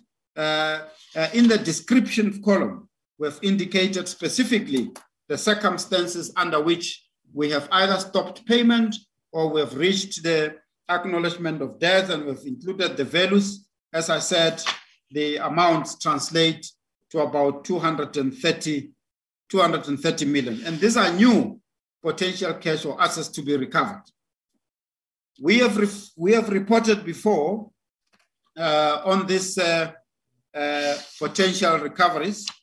Uh, on slide number 56, uh, we have uh, mentioned those rand value of potential cash recoveries as we reported when we, when we appeared to SCOPA before. And those ones totaled up to about 147 million. Uh, so Chair, as we say, uh, we will continue to just indicate uh, from potential to actual, uh, and then indicate clearly to the to the honorable committee around around that process. Now, the, the new actual cash or assets recovered on slide number 57. Uh, this is, as I would say, this is really money in the bank. Once all the processes have been followed, to date, the actual amount counts up to 3.1 million. And if you add on the one that was reported before, which is 25.3 million, uh, on slide number 58, uh, it counts up to 28 million point four. So I need to pause here and say, uh, we, we would like to ensure that this figure, particularly around the orders that have been granted, that the execution of those orders is speedily actioned so that we can translate the orders into actual money uh, that goes back to the state. And these actual recoveries would then see uh, the amounts increasing. Uh, so it is very important that our legal team uh, executes on the orders uh, that have been uh, that have been given. Slide number slide number 59, Honorable Chair, deals with the potential loss uh, prevented. Uh, in the Gauteng Department of Health, this is the new one. Uh, as I indicated, there's a loss prevention there of about 90,000 rands and another one of 300,000. all of this uh, the first one recommended to Gauteng that they should reduce the value of two outstanding invoices. Look, our team, as they investigate, they also analyze the payment, uh, payment information and in this case, you would find that the, the, the team has found that uh, you know there has been you know uh, uh, over over overpricing on the on the invoices or over invoicing, so to speak, and and then uh, they would uh, recommend to the department that uh, the invoicing be, the invoice be challenged and be be be reduced. there's also another Department of Health in Gauteng where about 300,000 SIU re recommended that uh, payments not be made to uh, prime resin because the investigation found the appointment was irregular. In this case, as we said before, uh, we would then couple the stopping of the payment with the institution of civil proceedings in the special tribunal. Uh, on slide number 60, I've already uh, reported on this one and we reported it before, that uh, in the Gauteng Department of Health, when the contract was set aside to the value of 139 million, uh, about 99 million of that had not been paid yet. So that part ensured that we saved uh, the department 99, uh, 99 million. Um, Chair, the rent value of contract uh, set aside uh, this ones we reported, uh, we've already really indicated before, is the one in Gauteng, 139 million set aside. Um, Chair, at this stage, uh, I would like to just indicate that we are now moving onto some of the details of the matters that has been finalized. And Chair, uh, uh, under your guidance, I will go through them in detail. Um, uh, but um, uh, in some instances, not really read line by line, so that uh, the, the committee, honorable committee could really get a sense of what we are reporting. Uh, what we are reporting uh, on slide 63, uh, we're just repeating that it's in line with the summary progress that we presented above. some of these matters, if you look at the bottom, we will indicate matters which have been finalized where no irregularities have been found. Uh, and those matters, uh, it's about 588 service providers uh, and translating to about 3.9 billion. Where, where we have found irregularities, uh, those translate to about 247 service providers, 352 contracts, and the, the value is about 1.7 billion. So Chair, uh, I'm gonna now go into some uh, fair detail uh, on all of these, on, on all of the matters, uh, without, of course, really reading line by line. Uh, I'll ensure that uh, I, I, move with a bit of speed so that now we can really allow the Honorable Committee to engage and ask questions. I'll start off with the Gauteng province, slide number 64. Uh, in, the, in the Department of Health, uh, we, uh, there's some investigations that have already been uh, done uh, in terms of all of those uh, allegations that were received relating to all of those matters, cloth masks, thermometers, accommodation, radio advertising. and in all of these matters, these are those that were we have not found irregularities. and the Gauteng team has done uh, really a, a good work in terms of really checking against the irregularities and the allegations that have been reported. Still Gauteng department, slide number 65. Uh, as you can see there, uh, uh, the first six on that slide uh, where no irregularities have been found uh, relating to surface disinfectant, cleaning services and body bags, empty spray bottles, uh, and three-ply mm. cloth masks, and so on. So there, the, the investigation revealed no irregularities. on the, on the, yes. That's fine. Um, I think where no irregularities have been identified, as is with the previous slide and this one and any coming ones, we can take those as read. Okay. Uh, to say where the last two bullet points on these you can flag those because if they fall outside the would have to note those. So we can That's proceed. right. Okay. Thank you. No, thank you, Chair.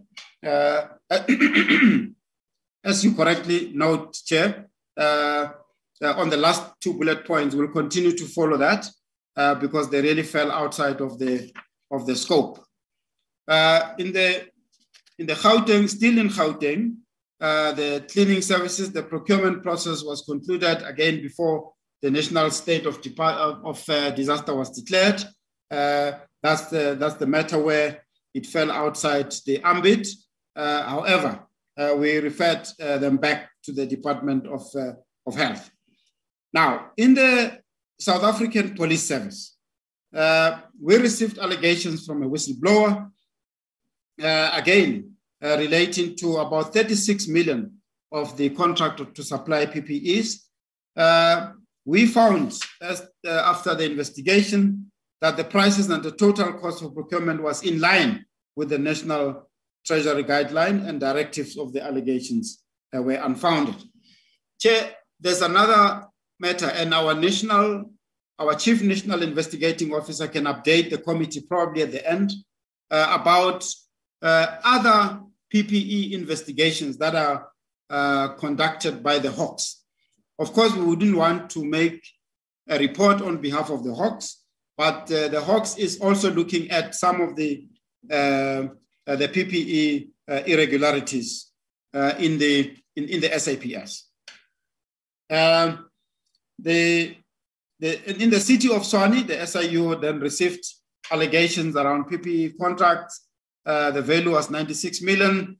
Uh, we found that uh, no contract has been awarded in this case, and the so-called official was not employed by the, by the municipality. In the city of Tshwane, uh, the, the next slide number 67, please. Uh, the, the allegations were that the municipality and the Gauteng Development, Social Development opened seven homeless shelters at the Caledon Stadium and were also provided daily meals uh, to the homeless.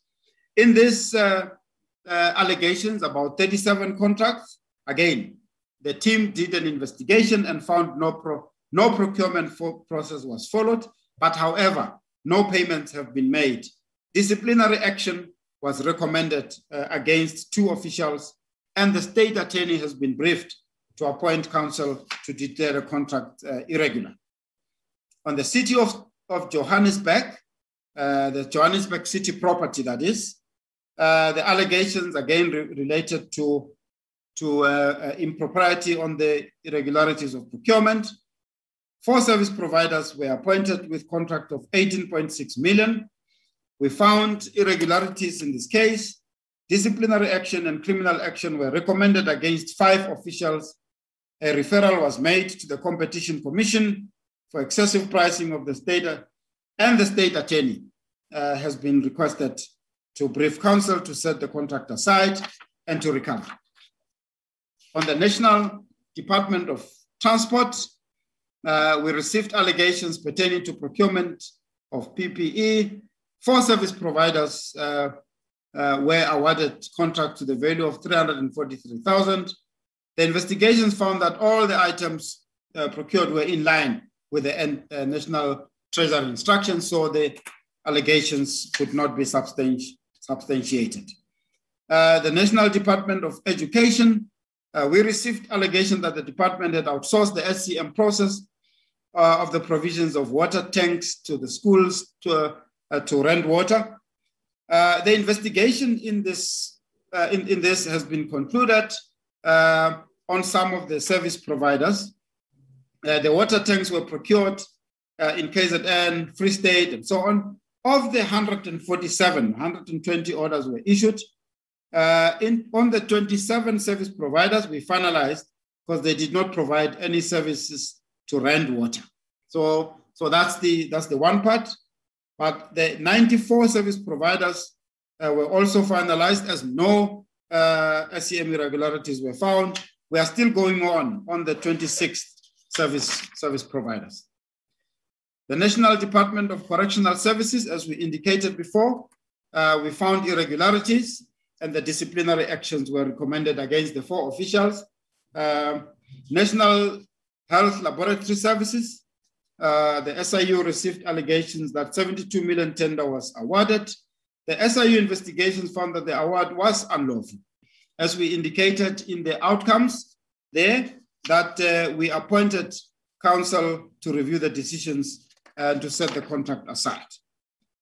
The Department of Public Works and Infrastructure in the Eastern Cape, uh, we received allegations in respect of a tender for emergency repairs uh, at the Aberdeen Hospital. The SIU, we found no irregularities in this case uh, Honorable Chair and Honorable Members. Um, uh, and also bullet number two and number three, uh, all of those allegations in the Amatole San Bisho, where the tender for Clearview fencing and the emergency refurbishment of public hospitals, the team in the Eastern Cape done the investigations and they have found no irregularities in this case. Uh, the next slide as well is slide number 71. You'll see there that again, the, depart, the, the, the team in the Eastern Cape, still in the Department of Health, relating to you know, the two service providers for uh, uh, sanitizers. And the, but there was also an indication that the service provider was non-compliant with the tax clearance certificate, except for that, which the certificate which was expired. Except for that, the department had made no payments and therefore suffered no loss. Uh, so uh, in bullet point two and bullet point three, there was also no payments, no payments made. Uh, there was no award made and uh, found no SCM irregularities. In the Eastern Cape Department of Health, two service providers were approved to supply uh, 338 uh, isolate 338,000 isolation gowns to the value of 342 million. Um, the SIU found no SCM irregularities. Uh, similar to bullet point two, three, and four, uh, uh, after the investigations were conducted, uh, there were no irregularities found, and the department suffered no loss in some of those findings. In Eastern Cape, again, Department of Health, slide number 73, uh, as we reported in some of the uh, investigations in the Department of Health, SIU was informed that an official uh, had unlawfully and falsely drafted a fraudulent commitment letter. So this is an official who, who just you know initiates a commitment letter and fraudulently drafts that. And we found that uh, the letter was forged uh, and the matter was referred to NPA uh, for further investigation. The matter is currently being dealt with with the Office of the Director of the Public uh, Prosecutions in Umtata. Department of Education still, uh, the SIU received allegation that an official at the department were used her sister's company to obtain a contract for the supply of PPE uh, in the Eastern Cape to the value of 2.8 million. The SIU found that the official did use both companies to secure this PPE contract. So there were irregularities and also there's, uh, there's fraud and there's corruption. Uh, so the disciplinary action was referred and the SIU uh, applied for and obtained an order in the special tribunal to freeze all monies in the bank accounts of the service providers. Uh, the next slide, Chair. Um, uh, the Department of Education, still in the Eastern Cape, the SIU received an allegation that an official at the department used his wife's company to obtain a contract for the supply of PPE. The official declared that he was not directly involved in his wife's business, um, uh, but the SIU, after investigation, we found evidence that contradicted these official uh, statements, that he solicited bribes and kickbacks from other companies that had been awarded contracts. So in this case, we found irregularity, criminal offense, and we found there's, there's corruption uh, in, this, uh, in, this, in, in this case. Then the bullet point two and three, we, we did not find uh, irregularities. Still in the Eastern Cape, Department of Education, uh, on bullet points, uh, bullet point number one, uh, the SIU received allegation that service provider who received a contract to deliver PPE to 25 schools uh, to the value of 2.4, in fact, did not deliver. Our investigation found the actually, as per delivery note, they were delivered. Uh, and this was confirmed by the school principals. So the allegation was not uh, uh, substantiated. The next one, we found irregularities. The SIU received allegations that the department irregularly made use of COVID-19 emergency procurement. So we found that uh, they've, they, have they have wrongfully used uh, the emergency procurement. Uh, the investigation found that the department, uh, we used the word in bracket, hijacked the emergency procurement. We found that an official was the sister of the owner of the company that was awarded the contract. Um, so, Chair, there's corruption here, and the, we have we have applied to the special tribunal to have the bank accounts of the four respondents frozen and interdict the department from paying, and we are seeking to recover. Still in the Eastern Cape, uh, uh, the SIU received allegations of procurement irregular impact of temporary housing structures. We found uh, uh, that the emergency procurement process was used to motivate for the structures. However, only 279 of the 1,800 temporary shelters were eventually built. So, Chair, we have found irregularity here. and we have found under delivery. Uh, so as a result, the SIU will institute civil proceedings uh, to recover and will also issue uh, the criminal referrals and the, and the civil recovery. In the South African uh, Social Services uh, Agency, and again, I'm informed that there's an update that the Honorable Committee needed to know about some aspect of the allegations in the uh, in the in the SASA, in the social, in the South African Social Agency. Uh, my colleague, Mr. Lekgetho, will will give an update on that.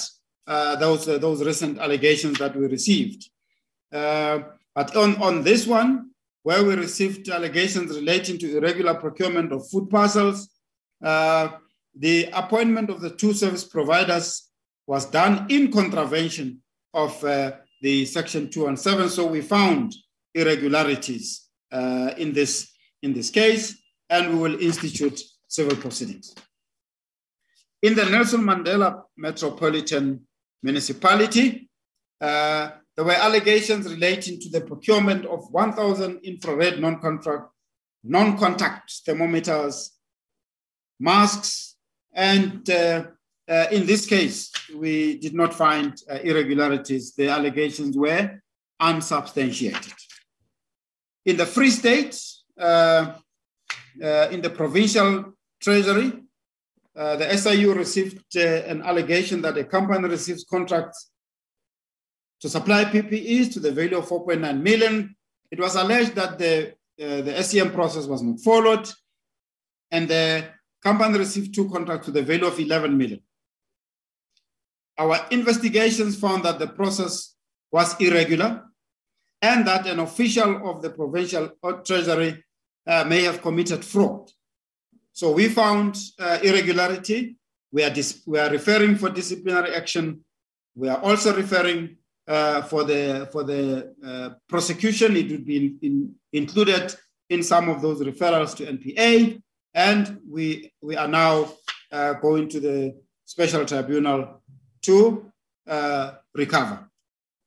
Still in the provincial treasury of the Free State, we received allegation that service providers who were awarded contract to supply surgical gowns, uh, about 30 service providers were appointed to the value of 39 million. We reported before on that one on the uh, potential recoveries. This is where we stopped payment and we are at the special tribunal where we've interdicted the, the provincial treasury to pay uh, from making further payments. Uh, still in the Free State, uh, slide number 79, uh, we received an allegation that a company received contract to supply sanitizers. In this case, we found no irregularities, even on the second bullet point, where there were allegations of 4.7 million relating to uh, famous uh, radio personality we found no evidence of irregularities.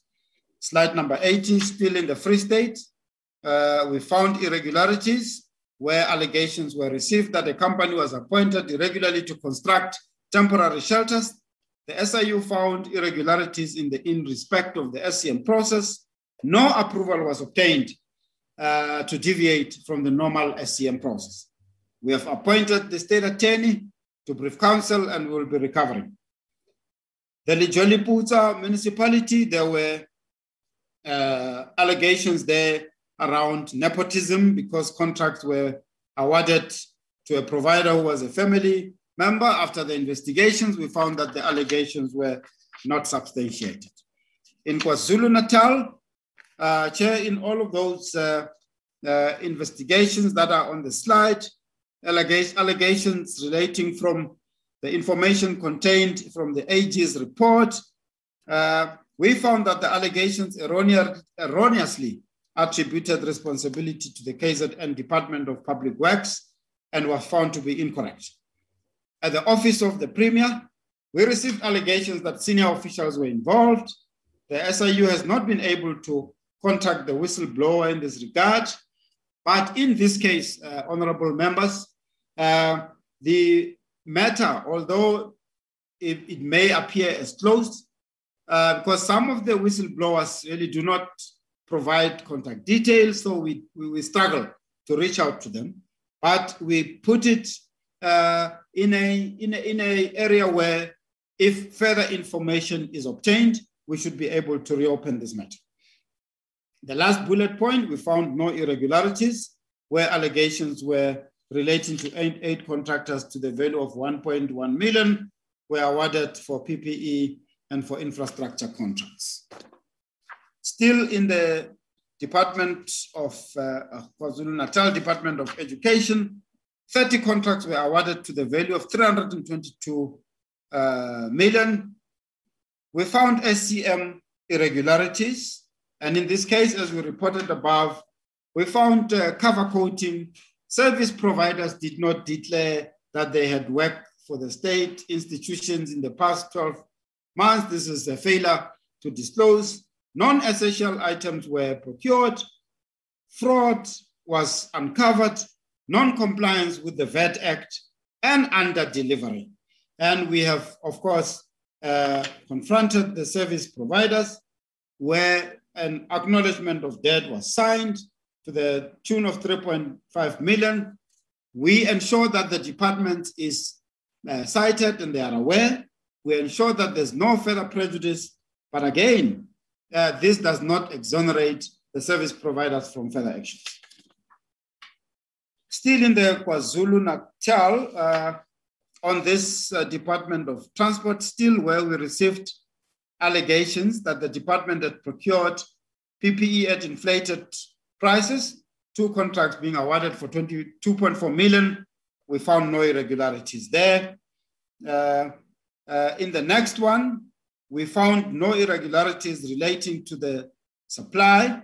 However, uh, uh, we, a systemic recommendation was made to the municipality to ensure that SAHPRA compliance for future contracts uh, are referrals. In this case, we found that the, the service provider who provided medical equipment was not registered on SAHPRA. So, Chair, uh, that in itself actually renders the process uh, to, be, to be irregular because uh, the, that, the, the, the, the SCM process should have checked that part. Uh, I've, I've, made a note of this uh, where we will, we will re-engage with our team to ensure that uh, uh appropriate action is, is taken. The eThekwini Metropolitan, we received allegations that the municipality had provided catering for homeless between March and July 2020 without complying with National Treasury benchmark rates. Uh, we found in this regard that no payments have been made and therefore there, were, there, was no loss by the depart, by the municipality. Umgeni uh, municipality still in KZN, we received allegations here uh, that uh, the municipality may have used the MIG, the Municipal Infrastructure Grant Funds. Uh, we found indeed that the allegations were substantiated. Uh, the 15 contracts were awarded to the value of 9.6 million. So we found that the, M, the MIG funding was used in this case. So this is clearly a misuse of MIG funding. Uh, there, would, there, there, are, there are processes in the accounting processes where funds earmarked for, uh, for, for MIG would be used for other purposes. That was not followed in this regard, and we found irregularities. In the Limpopo province, uh, slide number 85, SIU received allegations that the Department, the Department of Health had uh, underpaid the service provider. Two service providers were appointed to supply the cloth marks. We found that the department had paid for what was delivered, no irregularities. In Mpumalanga, uh, slide number 86, the Department of Cooperative Governance, we found irregularities there based on the allegations from a media report in respect of irregular procurements and contracting for the supply of PPE. Our investigation found that the SCM process was not competitive. The contract was also awarded to, to the brother of an official who was part of the bid adjudication. This is clear conflict of interest, which was not disclosed and the disciplinary action and criminal action was recommended. We will also uh, institute civil proceedings to recover. In the Office of the Premier and the next bullet point in the Department of Agriculture, we found that the, the allegations were not substantiated. Still in the, depart, in the, in the Mpumalanga Province Department of Education, uh, here, Chair, with uh, the 249 schools were identified for maintenance in respect of water and sanitation. Right? We received allegations that some of the service provider has not rendered services. So in this case, we found that there's negligence. And the negligence was more on the part of the project managers of the department. Uh, in fact, they were responsible for signing off on the certificates after verification uh, of, the, of, of the service delivery. So uh, the investigation team found that uh, uh, these project managers were, were, were, negligent and the disciplinary action had been recommended against the 11 project managers. The next one, uh, the SIU received an allegation that a service provider supplied the PPE to the value of 138,000 uh, in fact, here, the SIU investigation found that the PPE had been donated to the department by the service provider and that the department should not have made a payment. Uh, the service provider has since refunded uh, the department. The full amount was paid. Mpumalanga province, uh, we've already reported on the Mpumalanga Economic Growth Agency when we covered the outcomes. Uh, this was uh, coming from the media reports in respect of irregular procurement, but in this case, we found no irregularities. The allegations were not substantiated. Uh, further, the allegations made emanate from media reports. The service providers received contracts to the value of 403,000. We found that the PPE had been procured at inflated prices, and some of the items purchased were not classified as PPE we will, we will uh, then institute the necessary referrals and the, and the recoveries. Still in Mpumalanga, the Department of Community Safety and uh, Security and Liaison, we found irregularities, Chair, in this case. Uh, we found that no SCM process was followed, where the contract of 1.4 million was awarded. A criminal action has been recommended against the director of the service provider, and will also Uh, uh, refer uh, to, the, to the department uh, for disciplinary processes.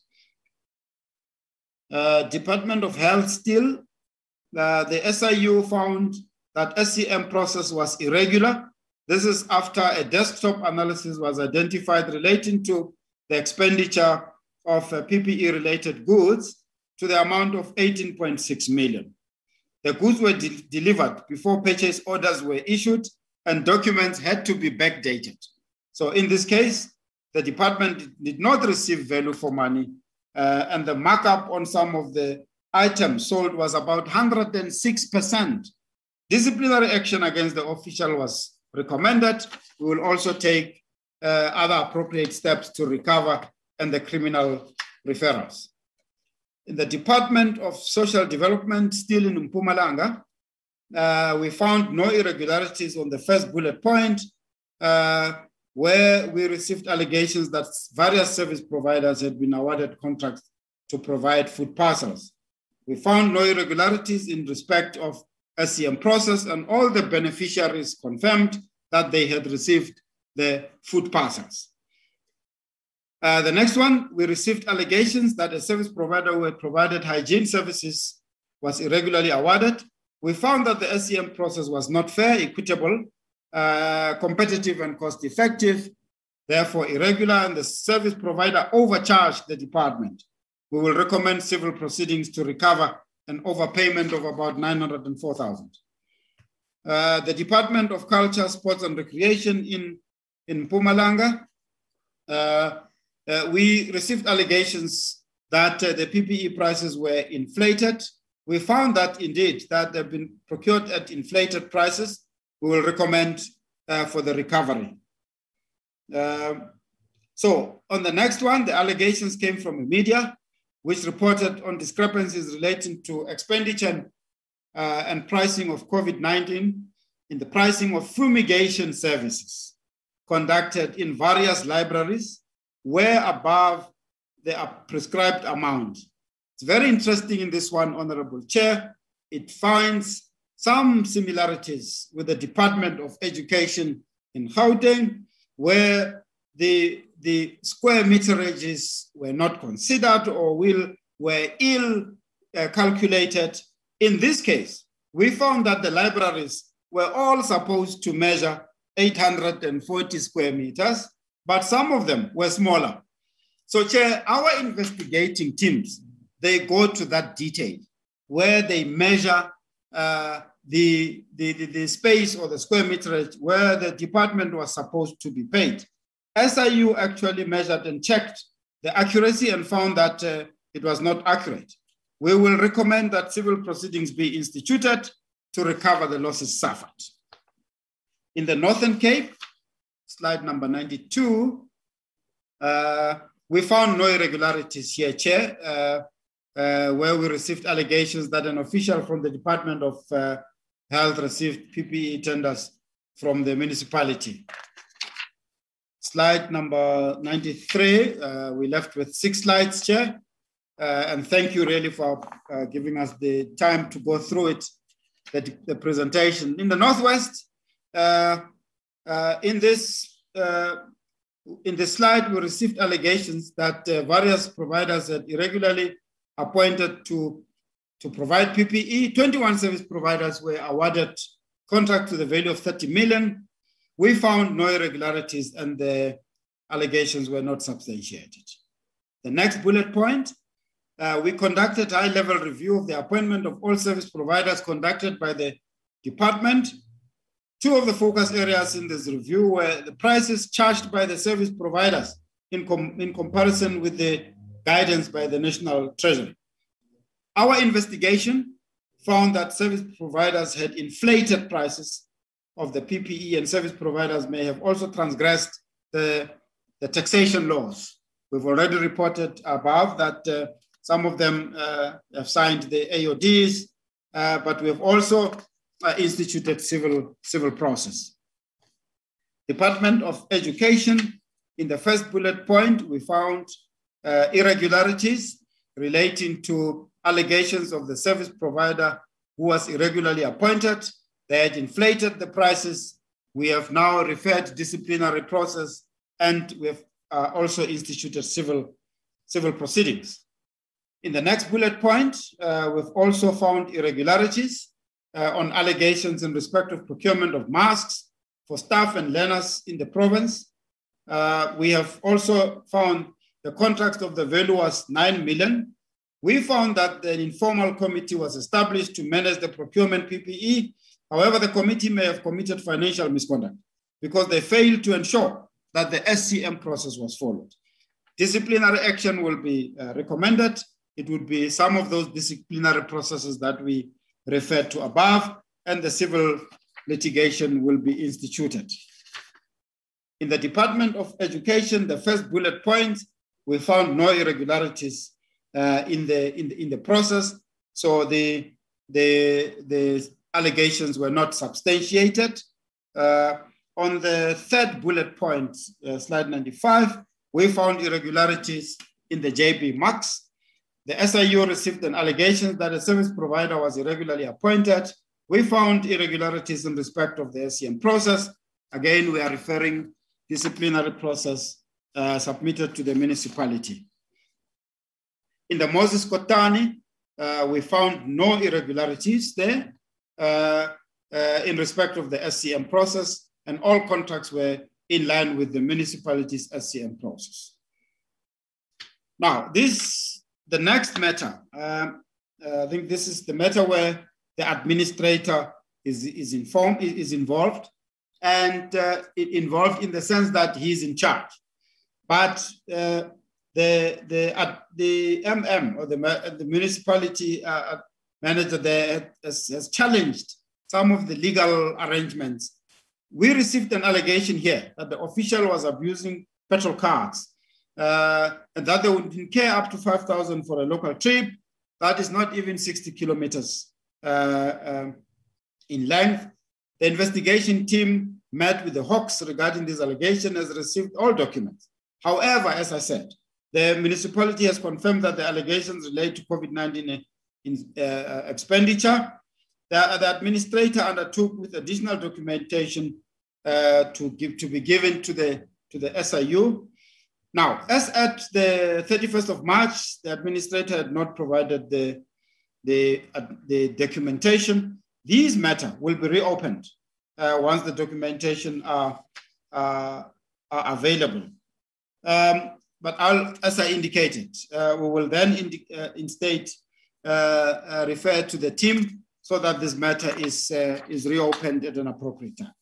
In the Western Cape, Chair, without really taking too much time, all of the all of the allegations, and, and again, Chair, our Western Cape team is in attendance, but I've also satisfied myself as they do the investigation uh, that uh, uh, the allegations that have been received in the again it's, it's, it's this is probably an error which we apologize for and will correct. There is no national department of environmental and fishery in the in the western cape uh, uh, but in this case uh, in the this relates to the national department which is really not in the eastern cape but this is the footprint this this happened in the Western Cape, but it's in the auspices of the national department. Uh, hence, the national, hence the Western Cape team would have made uh, this error, but we apologize. We'll, we'll correct that. We received allegation that the service provider supplied to the department the uh, the bottles under the false, uh, forged, or cloned label, but we found no irregularities that, and they were not substantiated. Again, in the Department of Education, Department of Transport, up to the, up to the end of uh, slide number 98, Chair, uh, the investigating team uh, found that uh, there were no irregularities and the, the, the, allegations were not substantiated. We conclude the presentation with the estimated costs. Uh, and there, uh, Honorable Chair, is really just to indicate that we are still uh, ensuring that uh, we are well resourced as we as we investigate. Uh, and we are saying there that the current estimated cost of SIU investigation to the end of August, uh, uh, which includes the current investigations and those yet to commence, is estimated at about 182 million. This figure excludes an estimated an estimate of about 85 million for additional or short-term contracts. Uh, Chair, what we are really saying at the end is that uh, we have seen a reduction of SIU estimated costs of, in, of internal resources by about 12 million, and the reduction in estimated cost of experts sourced through SIU SCM by about 33 million. The initial estimates that we gave before were provided based on projections by the SIU teams and as the investigations progressed, the actual costs have now become less than what was projected. So we are at this stage, Honorable Chair and Honorable Member, satisfied with the resources uh, that they would support the investigations as expected. Honorable Chair, I would like to really thank, thank the Honorable Chair and the Honorable Committee uh, for allowing us to present as detailed as we did. Uh, it was important that we show actually the status of where the investigations are and account to this honorable committee uh, on the investigations and the outcomes and who really needs to be held to account. We are thankful, Chair, and thank you very much. Uh, I'll pause here. As I indicated, my colleagues from various provinces are in attendance. When the questions are raised, uh, they would also assist in taking questions. Thank you very much.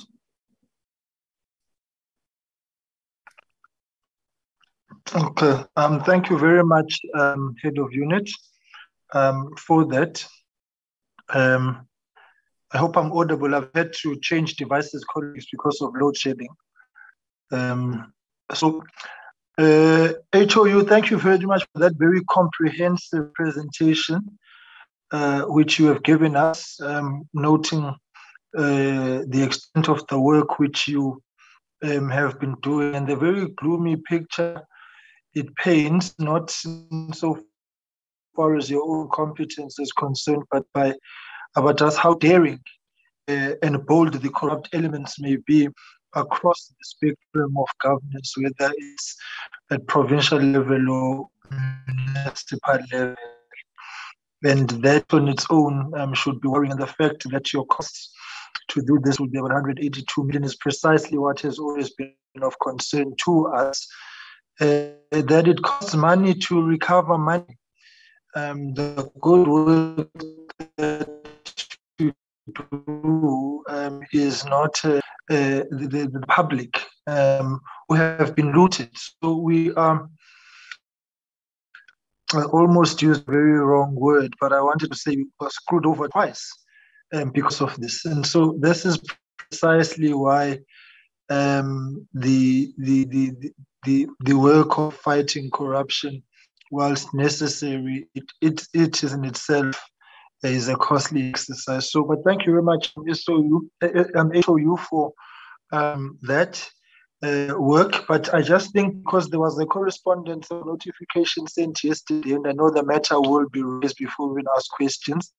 If yeah. we can dispense with that matter now yes. on the Minister of Health, and the Department of Health, insofar as digital vibes is concerned. Okay. Uh, I know that in the communication, we, that in that there's a discussion we had, but I think that um, let's let, us let us bring that one to the fore as well, and then uh, colleagues, we will come to uh, you as well if you can indicate in the group. I don't know where we start and where we end because it's a very comprehensive uh, presentation. Uh, that we have received. But I'm um, HOU, let's dispense with that matter um, regarding the Minister of Health and Digital Vibes and the Department of Health. No, thank you. Thank you, Honorable Chair, uh, for that. Uh, we will also, also just cover uh, the, the update. I was informed uh, from the meeting yesterday that the scope, uh, the Honorable Committee also needed an update of where we are with the Department of uh, Education in Gauteng. Chair, on the, on the National Department of Health, uh, I need to just indicate that uh, the investigation is ongoing. And we went public uh, to say the investigation is at an advanced stage. And what do we really mean by that? Uh, uh, Chair, our investigators have been going through the procurement process that was uh, conducted in the department. They have gone through, uh, of course, all the prescripts. Uh, and to date, uh, we can report that, uh, and this the department has already uh, sort of announced themselves, that the procurement process is been found to be irregular. Uh, the investigation is still uh, ongoing uh, in respect of other aspects of the, of the investigation. Uh, we have determined the accountability levels of who was involved in the actual procurement process. And those referrals will be made uh, uh, to, the, to the department. We, we will also uh, look at the various allegations that are made in respect of the uh, other officials in the department, including the executive authority in the department and the service provider uh, that has been uh, that has been identified, Digital Vibes. Chair, at this stage, um, I'm really constrained to go into detail, and we are investigating all of those allegations, and the investigation is progressing well. Uh, the minister has expressed his cooperation, and the investigating team at the moment is still following some of the uh, legal provisions in the SIU Act where they would call various witnesses to be interviewed under oath. Uh, so at this stage, we are at a critical stage of the investigation, and we would not at this stage really like to go into detail, as that would have the potential to prejudice uh, the investigation.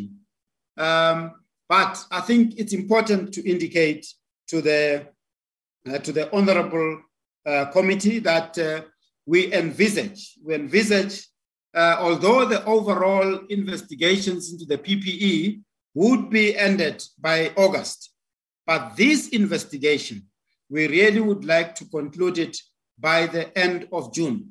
Uh, but of course, we continue to get you know, information that comes through uh, uh, through whistleblowers, through other means, and the investigating team is enjoined, it's duty bound to look into that, uh, uh, those allegations and make an appropriate pronouncement. So, Honorable Chair, at this stage, uh, that's really uh, the indication of what we can give to the Honorable Committee. We're investigating all of these allegations, gathering evidence as required so that we can reach an appropriate finding uh, come, come the end of June.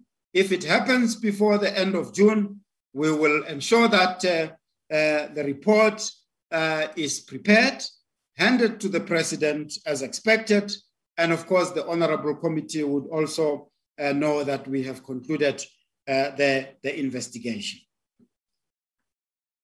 Um, on the on the Gauteng Department of Health one, uh, again, the, the investigation is ongoing. Uh, the investigating team uh, has given a progress update uh, similar to the investigating team in the National Department of Health.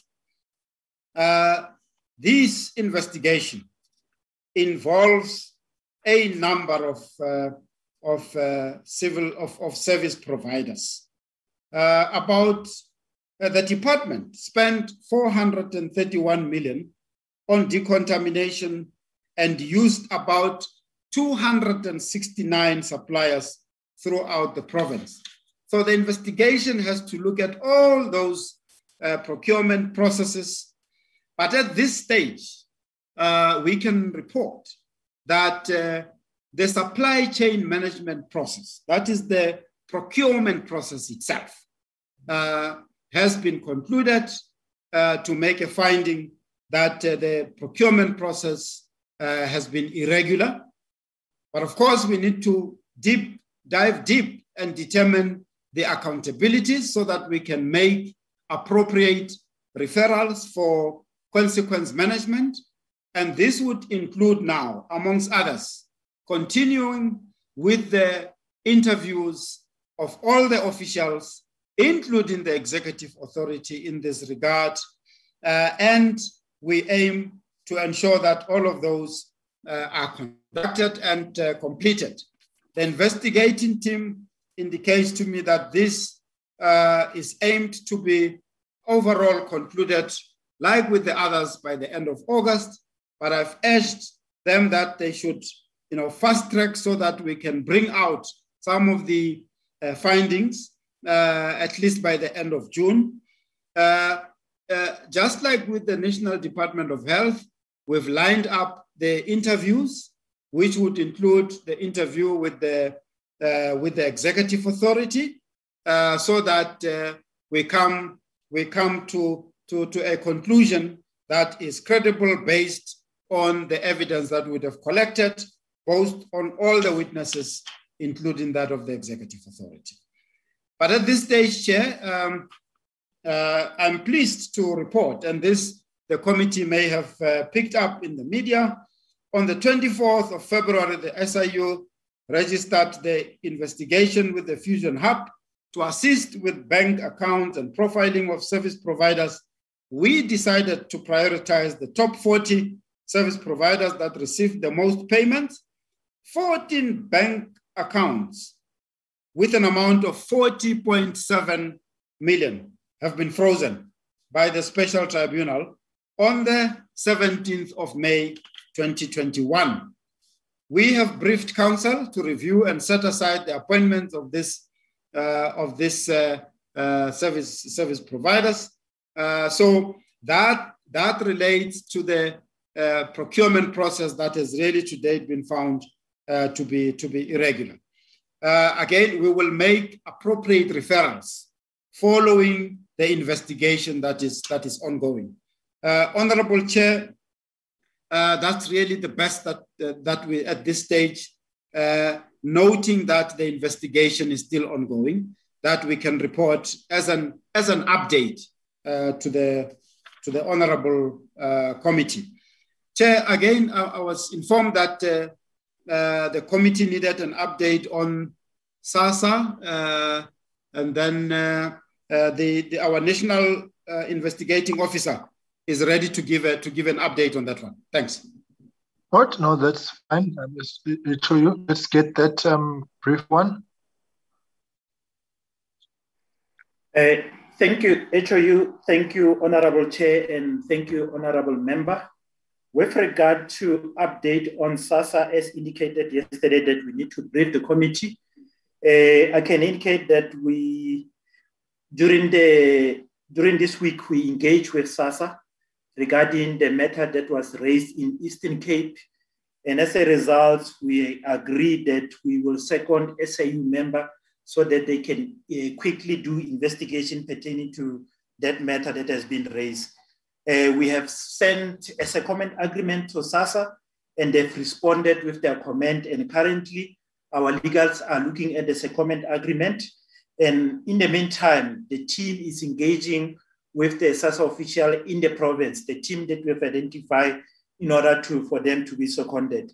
So we can easily indicate that uh, the SIU will be attending to this matter in terms of secondment so that we can be able to assist SASSA in terms of the investigation. And one other aspect pertaining to SAPS, which was raised yesterday also, Chair, is that we, we, we needed to comment because there's, there's a matters in the public pertaining to SAPS but we can comment that there's only one matter pertaining to SAPS that we dealt with and it has been reported. But with other matters that are currently in the, in the space, in the media space, I've confirmed with the Hawks yesterday and they are busy dealing with those matters that has been raised. So they are not, they have not been reported to SIU uh, as, as, as, uh, as of yesterday. Thank you, Chair.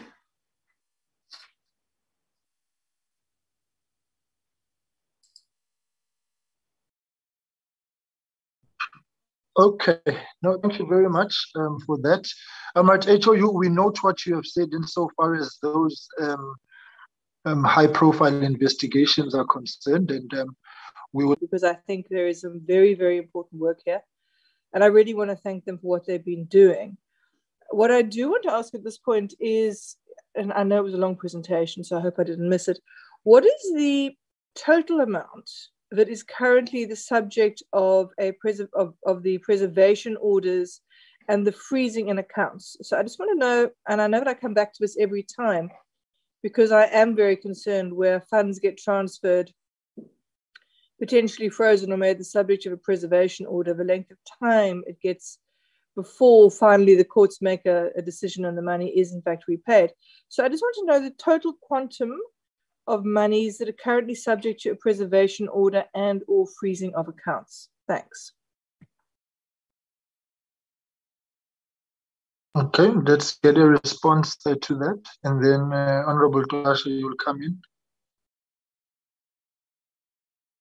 Thank you, Thank you Honorable Chair. Uh, Honorable Chair, as we indicated under the civil litigation uh, presentation on the orders that have been obtained, I'm just going to uh, allow the Chief Legal Counsel uh, to indicate to Honorable Van Minnen and Honorable Committee on, the, on, on, the total amount of the, of the preservation orders. Uh, Chief Legal Counsel.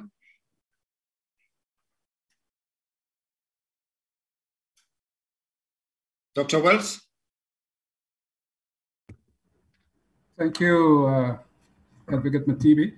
Um, uh, to the question of the preservation, up, up to this stage is the, the only preservation uh, and forfeit, forfeited amount is the one that was uh, granted in the Ledla matter. Uh, I don't have the specific slide here available, but the quantum in that um, uh, of that forfeiture was 26 million rand. Uh, the rest of the orders that we've obtained in relation to some of these uh, uh, some of the investigation undertaken in terms of the proclamation related to freezing orders, which has not been uh, translated and is still the subject of litigation. The freezing is relating to pensions. Thank you, Advocate Mothibi. Uh, Honorable Chair and Honorable Members, uh, that that would be on, on slide 29. Uh, in terms of the orders that have been uh, granted, um, uh, let me see. Uh, so I might just be misleading the committee here, but I'll find the slide, the slide number. But Chair, as I indicated earlier on, uh, that the legal team is on, is on brief to ensure that uh, we execute the, the, the, orders that have been granted by the special tribunal. Uh, so Dr. Wells, if you can probably, because uh, the question was, you know, the overall, the overall uh, amount of the, uh, of, of the preservation orders, which could also include the freezing orders. What is the overall amount? And I know you might need to do some calculations.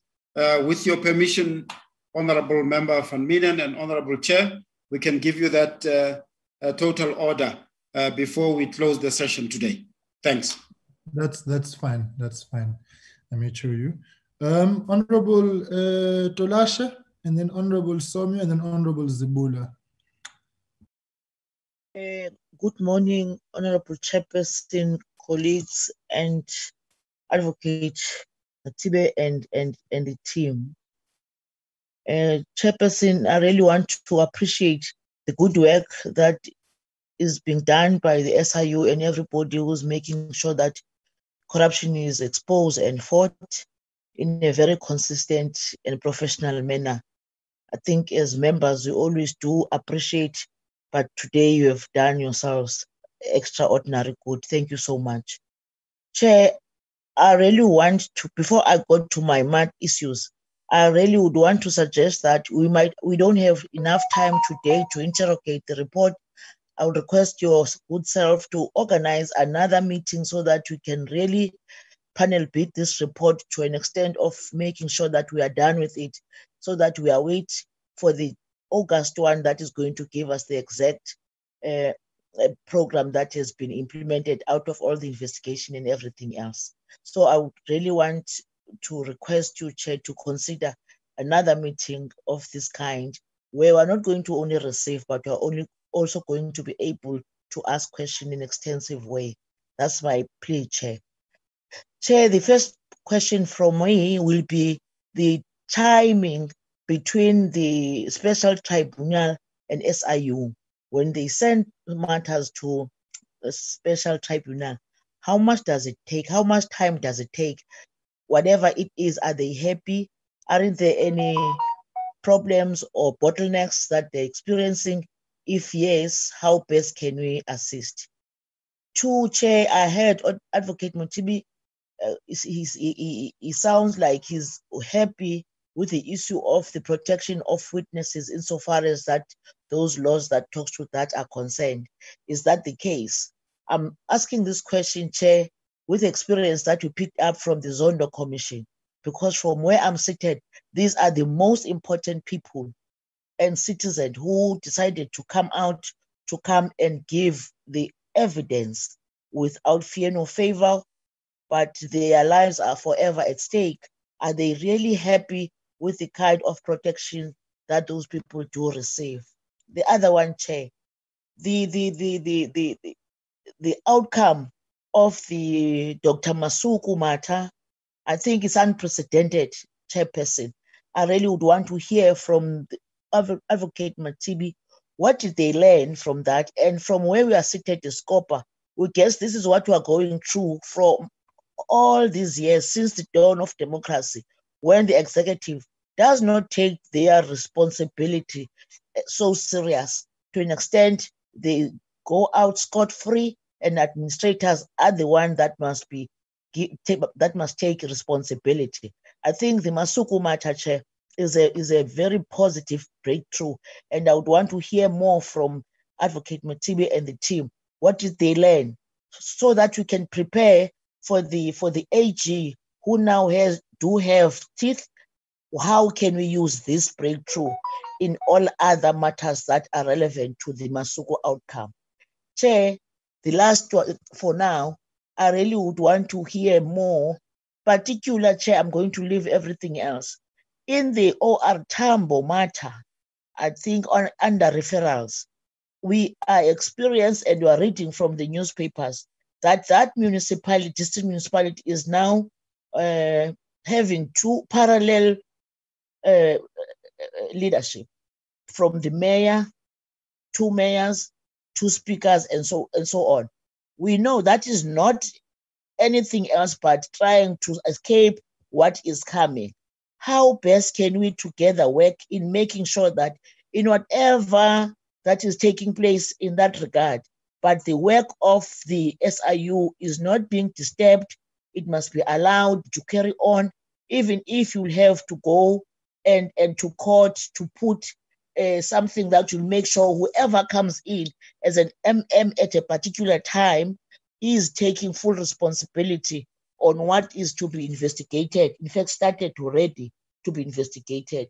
Chair, the last one, I hear Free State in particular where we don't hear exactly what the, the executive did in making sure that the outcome of, of the SIU is implemented or there's a slow implementation of, of what they are supposed to do, the disciplinary processes and so on.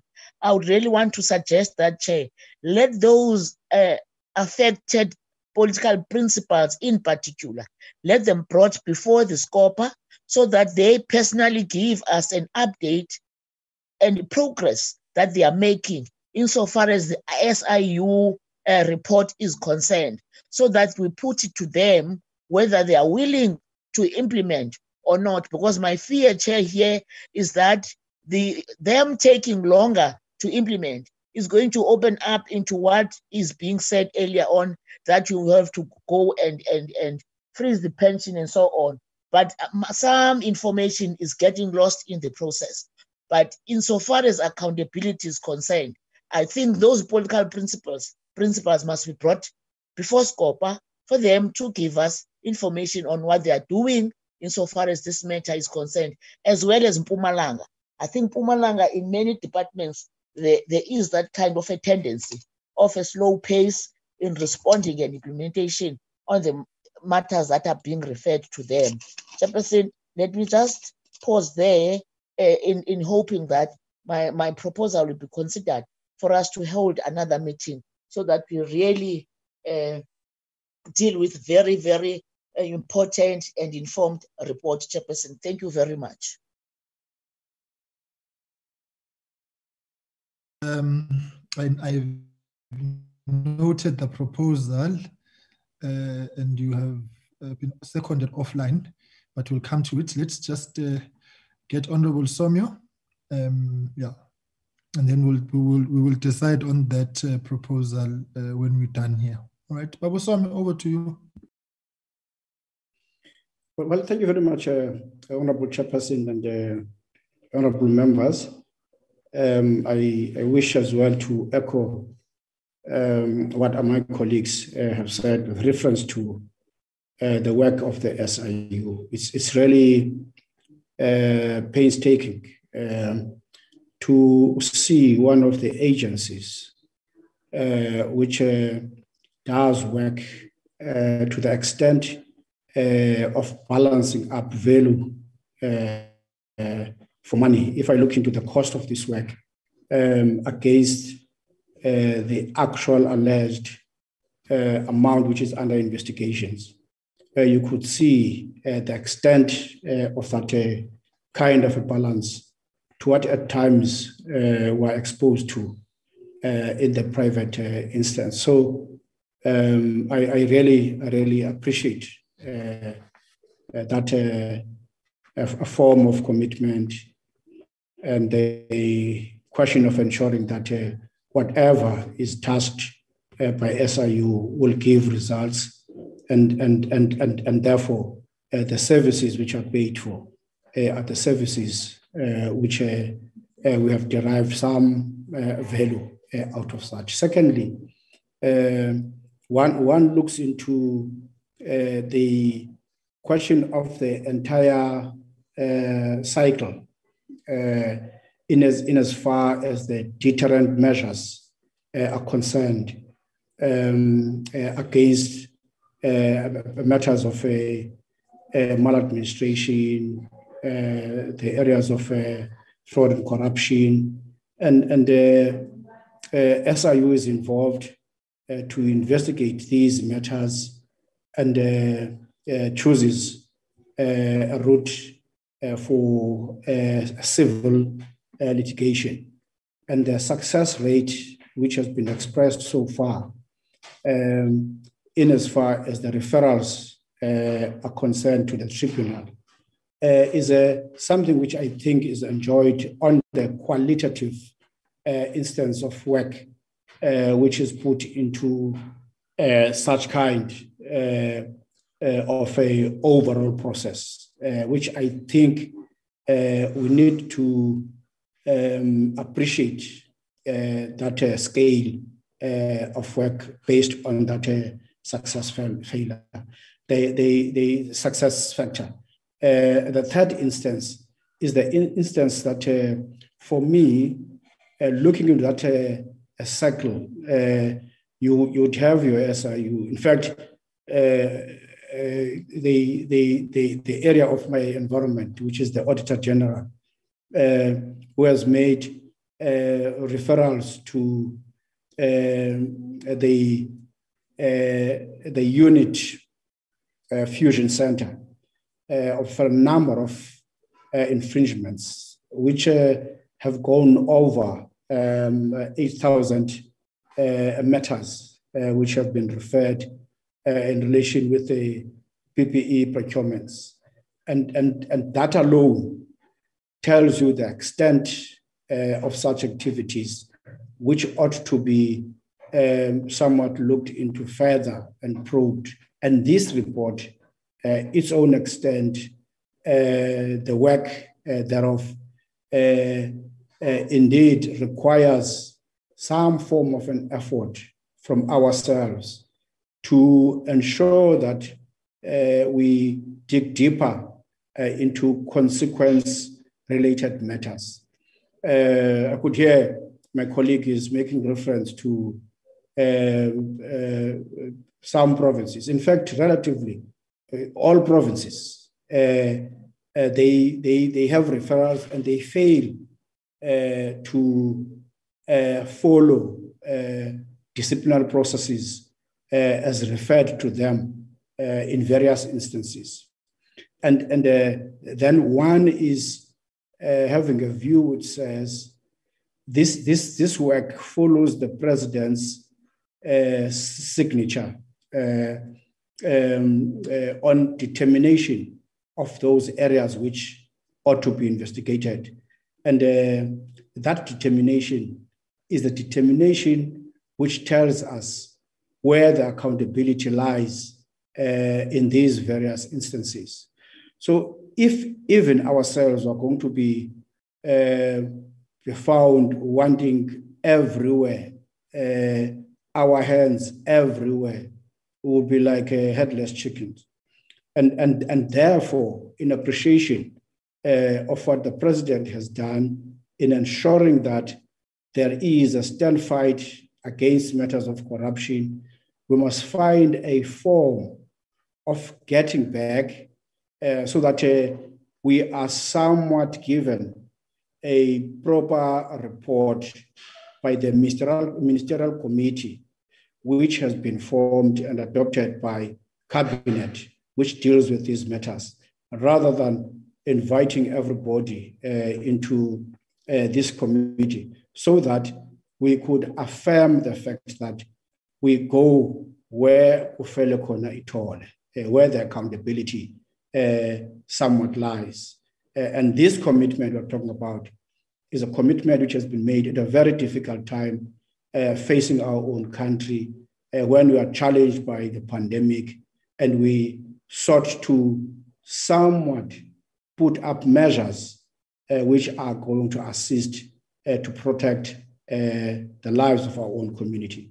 So, so, so, so in appreciation uh, of that firmness, we really need to follow the structures which have been laid for this process in a way. And, and therefore, my proposal with that chair uh, when we look into this kind of a report, that ministerial committee uh, should be somewhat invited rather than uh, inviting uh, a number of ministers or MECs or let's, let's just deal with things uh, in, in that uh, kind of a sequence. And in, in, a, in, a, in, a, in a fifth instance, I think there are other referrals which are somewhat made here after the SIU's uh, investigations, which are either uh, referring to uh, other uh, uh, state uh, related institutions which ought to deal with those matters. And, and, and therefore, those institutions themselves have to be invited. and that's where the slow pace is. That's where another deep problem lies. Uh, you see, when, when, when things have been uh, somewhat investigated in this way, they find uh, cracks and it becomes so difficult uh, for them uh, to find uh, their end, you see, in the line. And, and I, I think that we need to somewhat assemble that team and, and be able to uh, sit with them and, and, and to uh, be, begin to find way uh, of uh, closing these uh, uh, kinds, uh, kinds of matters going, going forward. And lastly, is a is the fact that from the SIU side, in, in, in terms of these kinds of investigations, the depth of such investigations, the success of such investigations, and, and uh, the, the, the legal instances that we find through some of these investigations. Uh, and and uh, it, it might be necessary that uh, in, in, the, in, the, in the stream of things would, would find uh, some correlation on the legal lapses on the legislative lapses, and on new things which arise uh, out of the findings uh, which uh, relate to these matters uh, of accountability uh, going, uh, going forward. So, so, so we need to line up those instances so that we find relevant institutions that we, we can deal with going forward. So that's my proposal. Thank you very much, Chair. Thank you very much. Mam Zibula.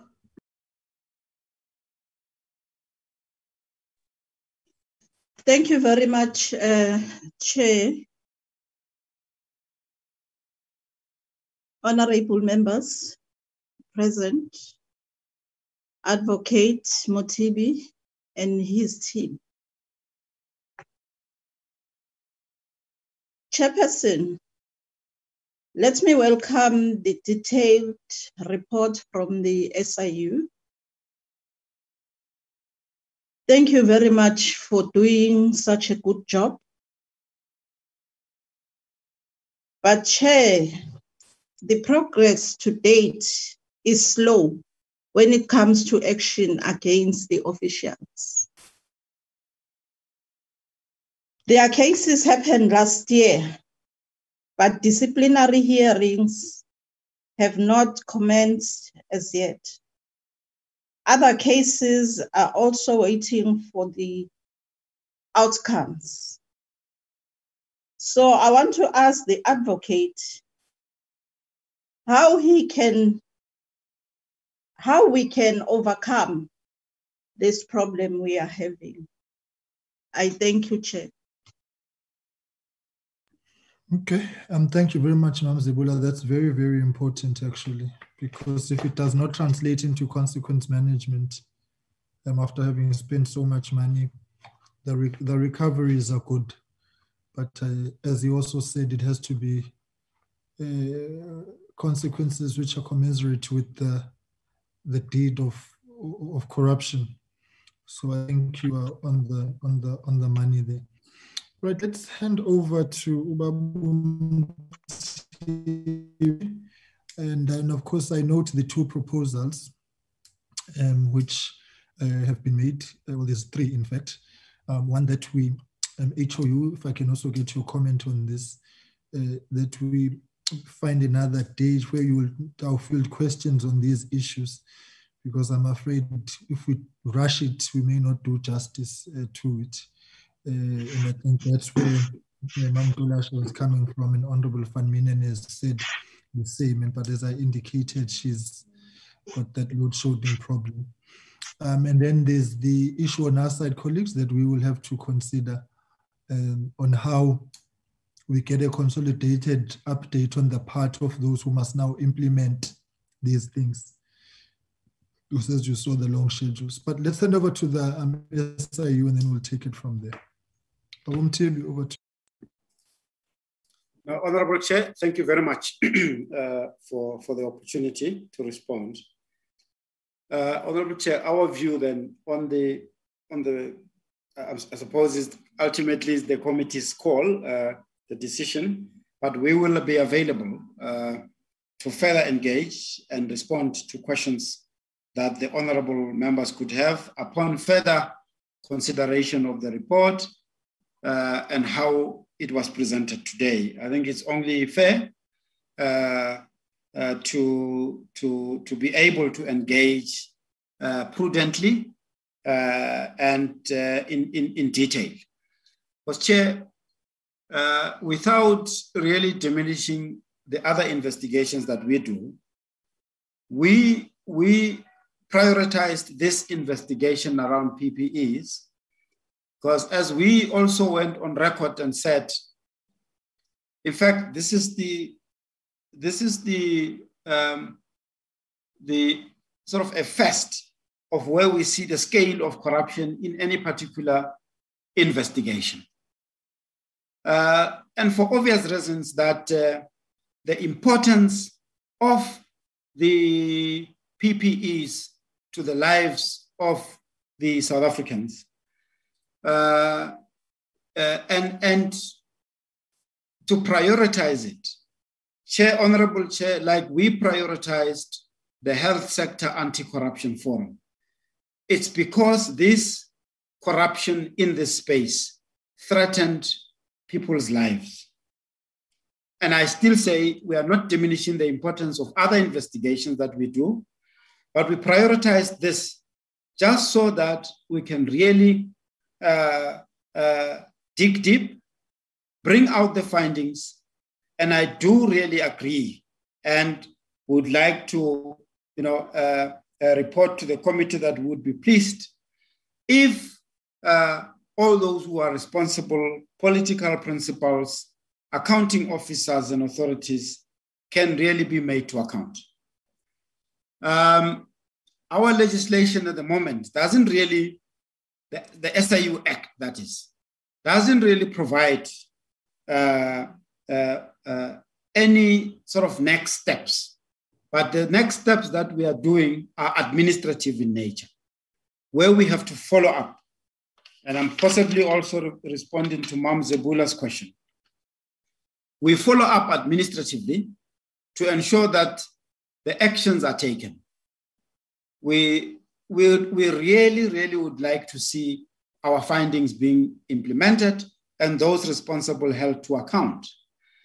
But Chair, while we also have the administrative uh, process available to us, there is really nothing that says ultimately when we realize that the accounting authorities are not doing their work in a manner that is expected. There's nothing that says SIU cannot institute legal proceedings to compel, to compel these accounting authorities to do their work. But that is probably the very last uh, uh, option, and, and, and, and possibly uh, that would not be uh, uh, invoked uh, given what the Honorable Committee would do in, in, in holding these accounting authorities to account in implementing the, the actions that in law and by their duty, they are duty bound to implement and, and, and uh, uh, institute these disciplinary hearings. Um, uh, I would like to uh, uh, also just say, Honorable Tolashe, you indicated around the time between the special tribunal uh, and when we institute the civil proceedings. I have requested our civil chief legal counsel uh, to note that and respond. But just to indicate, um, at the moment, we really don't have material issues to report relating to matters that we refer to, to the special tribunal.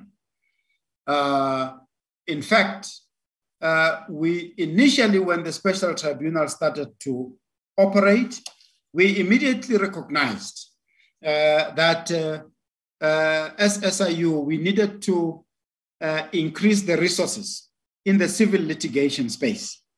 And those resources, we have gone some way in, in improving those because these so-called uh, case administration, it's viewed as an important aspect of this litigation process because it enables the judges to determine whether the matter is ready for hearing or not. And that was the part that was suffering few months ago, uh, which was pointed out by the special tribunal that uh, you know SIU needed to up its game on that one. Uh, and we engaged with the, uh, the, the, the, state attorney, uh, but, but we have since built our own capacity now to be able to drive that space. And it's going well at the moment. Um, uh, at the moment, we've got uh, you know several cases that we have uh, that we have enrolled at the special tribunal over and above the COVID-19 cases, and those matters, I think they are in the tune of more than seven billion. Um, uh, more than about 60 cases up to now. And the judges have indicated to us that they are willing and ready to adjudicate on all those matters. Uh, so, so from a from a process perspective, there are really no deficiencies or issues that uh, that we can that we can really uh, report as being as being uh, uh, problematic in the process as to delay the litigation process. on the on the um, the former MEC of Health, Dr. Masuku's matter, the ruling uh, Dr. Masuku's ruling, we'll call it like that, uh, because it's a it's a ruling in the in in, in the in, in the Masuku case. Uh, it's unfortunate that we'll probably keep on referring to it like that, but as a case, as a as, as a ruling, uh, uh, Honorable Tolashe, it we agree.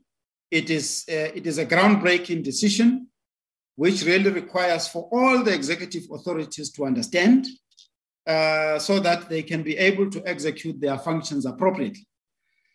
And to that, to that end, uh, our civil litigation team uh, is preparing uh, a note, a briefing note, which will probably turn into a presentation form, which we can present to SCOPA, to the Honorable Committee at the uh, probably at the next uh, the next time we appear at any time we are given.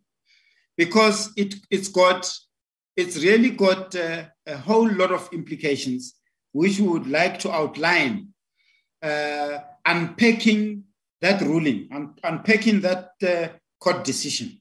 So we would like to prepare that uh, so that uh, we can indicate to the Honorable Committee what we have learned and what the implications of that decision is. So what we are offering, Chair, is that we would prepare a comprehensive presentation that we can present to the Honorable Committee relating to the implication of that, of that ruling. On the OR Tambo, um, uh, we will monitor that space, the extent to which it prejudices, firstly, our investigation or the implementation of our outcomes. Uh, we will ensure that is recorded and uh, probably raised in accordance with the process with the executive authority responsible, but we'll also make sure that where it really prejudices our outcomes and an investigation, we'll have to determine what legal recourse do we have. Um, and, and, and then ensure that, uh, that it's implemented. Uh, on, the, on the Free State matter, and I've just looked at it, um, where, where a disciplinary matter was referred and an official was transferred. This is the, the progress report we received from the Free State team. And I do agree, Honorable Chair, Honorable members, that uh, uh, an accounting authorities and executive authorities responsible uh, could you know, be requested to really come and indicate to scope what are they doing to ensure that uh, these recommendations are carried out. I've indicated there's various instances where the progress to date as we received it is that no disciplinary actions has yet been, been instituted. This is an unnecessary delay because our view is that if there's a disciplinary process to be taken, it must be taken speedily. Of course, we, are, we, we appreciate that it's got to be taken within the legal process, fair process to be taken, but it's got to start. It's got to be implemented so that it is demonstrable that uh, consequence management is been, is been, uh, is been implemented. Um, uh, Honorable Somyo, we really appreciate uh, the, the comments and they are really encouraging.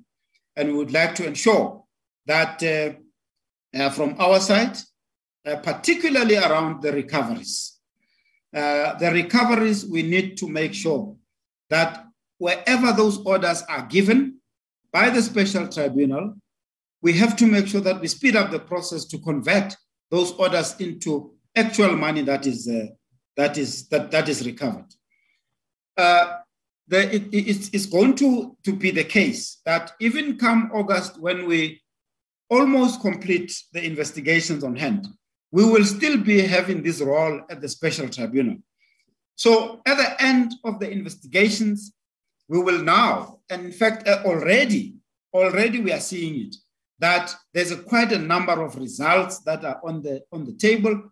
We just need to make sure that those results are actualized, whether it's referral to disciplinary process, referrals to NPA, referrals to the special tribunal. That is the part which really will make an impact in terms of all these investigations. The resources that we have uh, made to make sure that we investigate as speedily as we did now the impact has to be felt by implementing those, uh, those, uh, those referrals. So the, the recoveries, uh, Honorable Somyo will ensure that, that they are speeded up. Uh, the, I really appreciate the concept around the, the entire cycle of deterrence. The, that cycle of deterrence that Honorable Somyo refers to has got aspects in it, you know. Uh, uh, the effectiveness of implementing disciplinary hearings, effectiveness of prosecution, effectiveness of recoveries, effectiveness of uh, proactive measures of, of uh, preventing the, the occurrence of these corrupt activities and the maladministration. Thank you really for the comment of digging deep into issues of consequence management.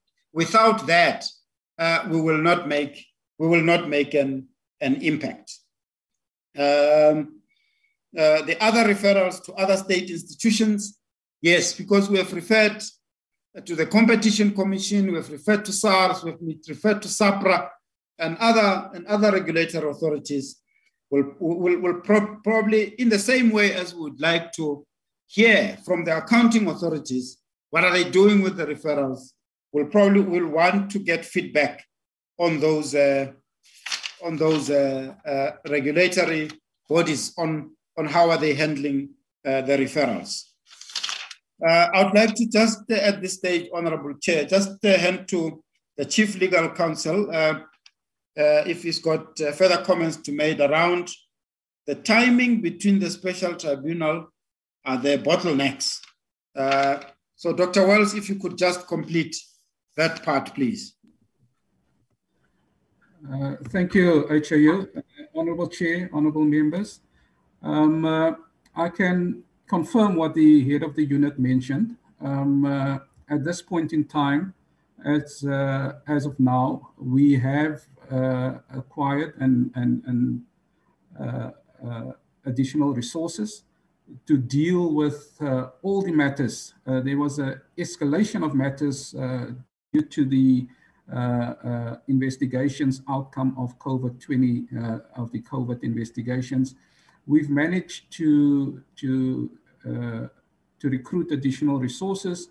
We're managing that process uh, and uh, there is absolutely no bottlenecks um, at the tribunal as it is. Um, all cases are properly case managed and is being heard by, by the tribunal and is properly managed from our side uh, based on uh, on on, on uh, our our personnel that have been uh, accommodated within the environment of the state attorney, seconded to the state attorney. Uh, one additional uh, uh concern uh, initially, but not really causing a bottleneck, was the ju jurisdictional aspect that the head as already alluded to, has now unequivocally been dealt with in the Ledla matter, uh, where the tribunal confirmed that it is a court. So that, that has been emphatically dealt with. In addition to possible bottlenecks or frustration within the procedures and processes of the tribunal, the SIU has now also finalized its draft legislation, uh, which would ensure further e uh, efficiency and effectiveness within the special tribunal. Uh, thank you, uh.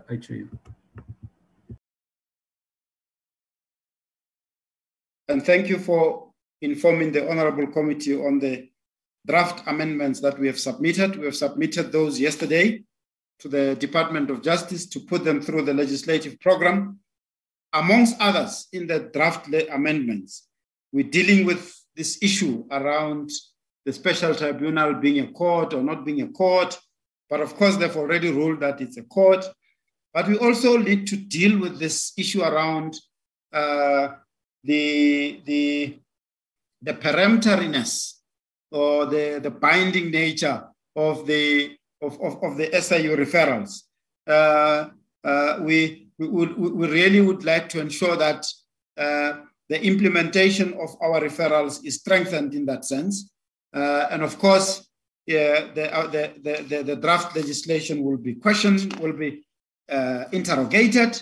We are really hoping that at the end, it gives, it gives us, the, the SIU, this uh, these provisions uh, that would ensure that the, the, the, referrals are implemented. The, the amendments deal with various other, other enablement provisions, uh, and I'm sure at an appropriate time in the legislative process, the Honorable Committee will probably have sight of those amendments.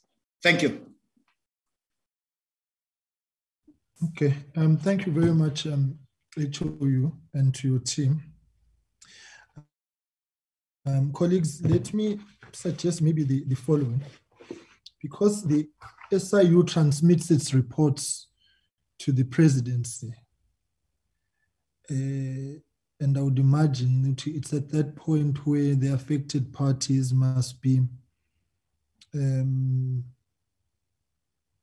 informed, for lack of a better term, um, that's the link that we need to create. And Honorable Somyo makes the point um, about the ministerial task team, interministerial task team as well. So I think we'll have to look at the modalities of that because they, we, if you're going to call all those implicated persons, um, it may end up being a, an exercise in futility um, in the absence of a coordinated approach in terms of enforcing what the outcomes of the SIU reports could be.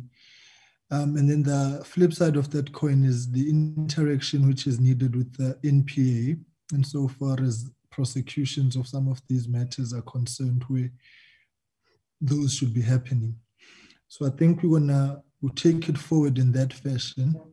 Um, we will um, advise the presidency that we have been receiving these uh, reports, and we would now like a, an update on the second leg of them, which is their implementation, so that uh, they can then solicit um, the action steps that are being taken to implement some of these things, if not all of them, uh, in the relevant spaces.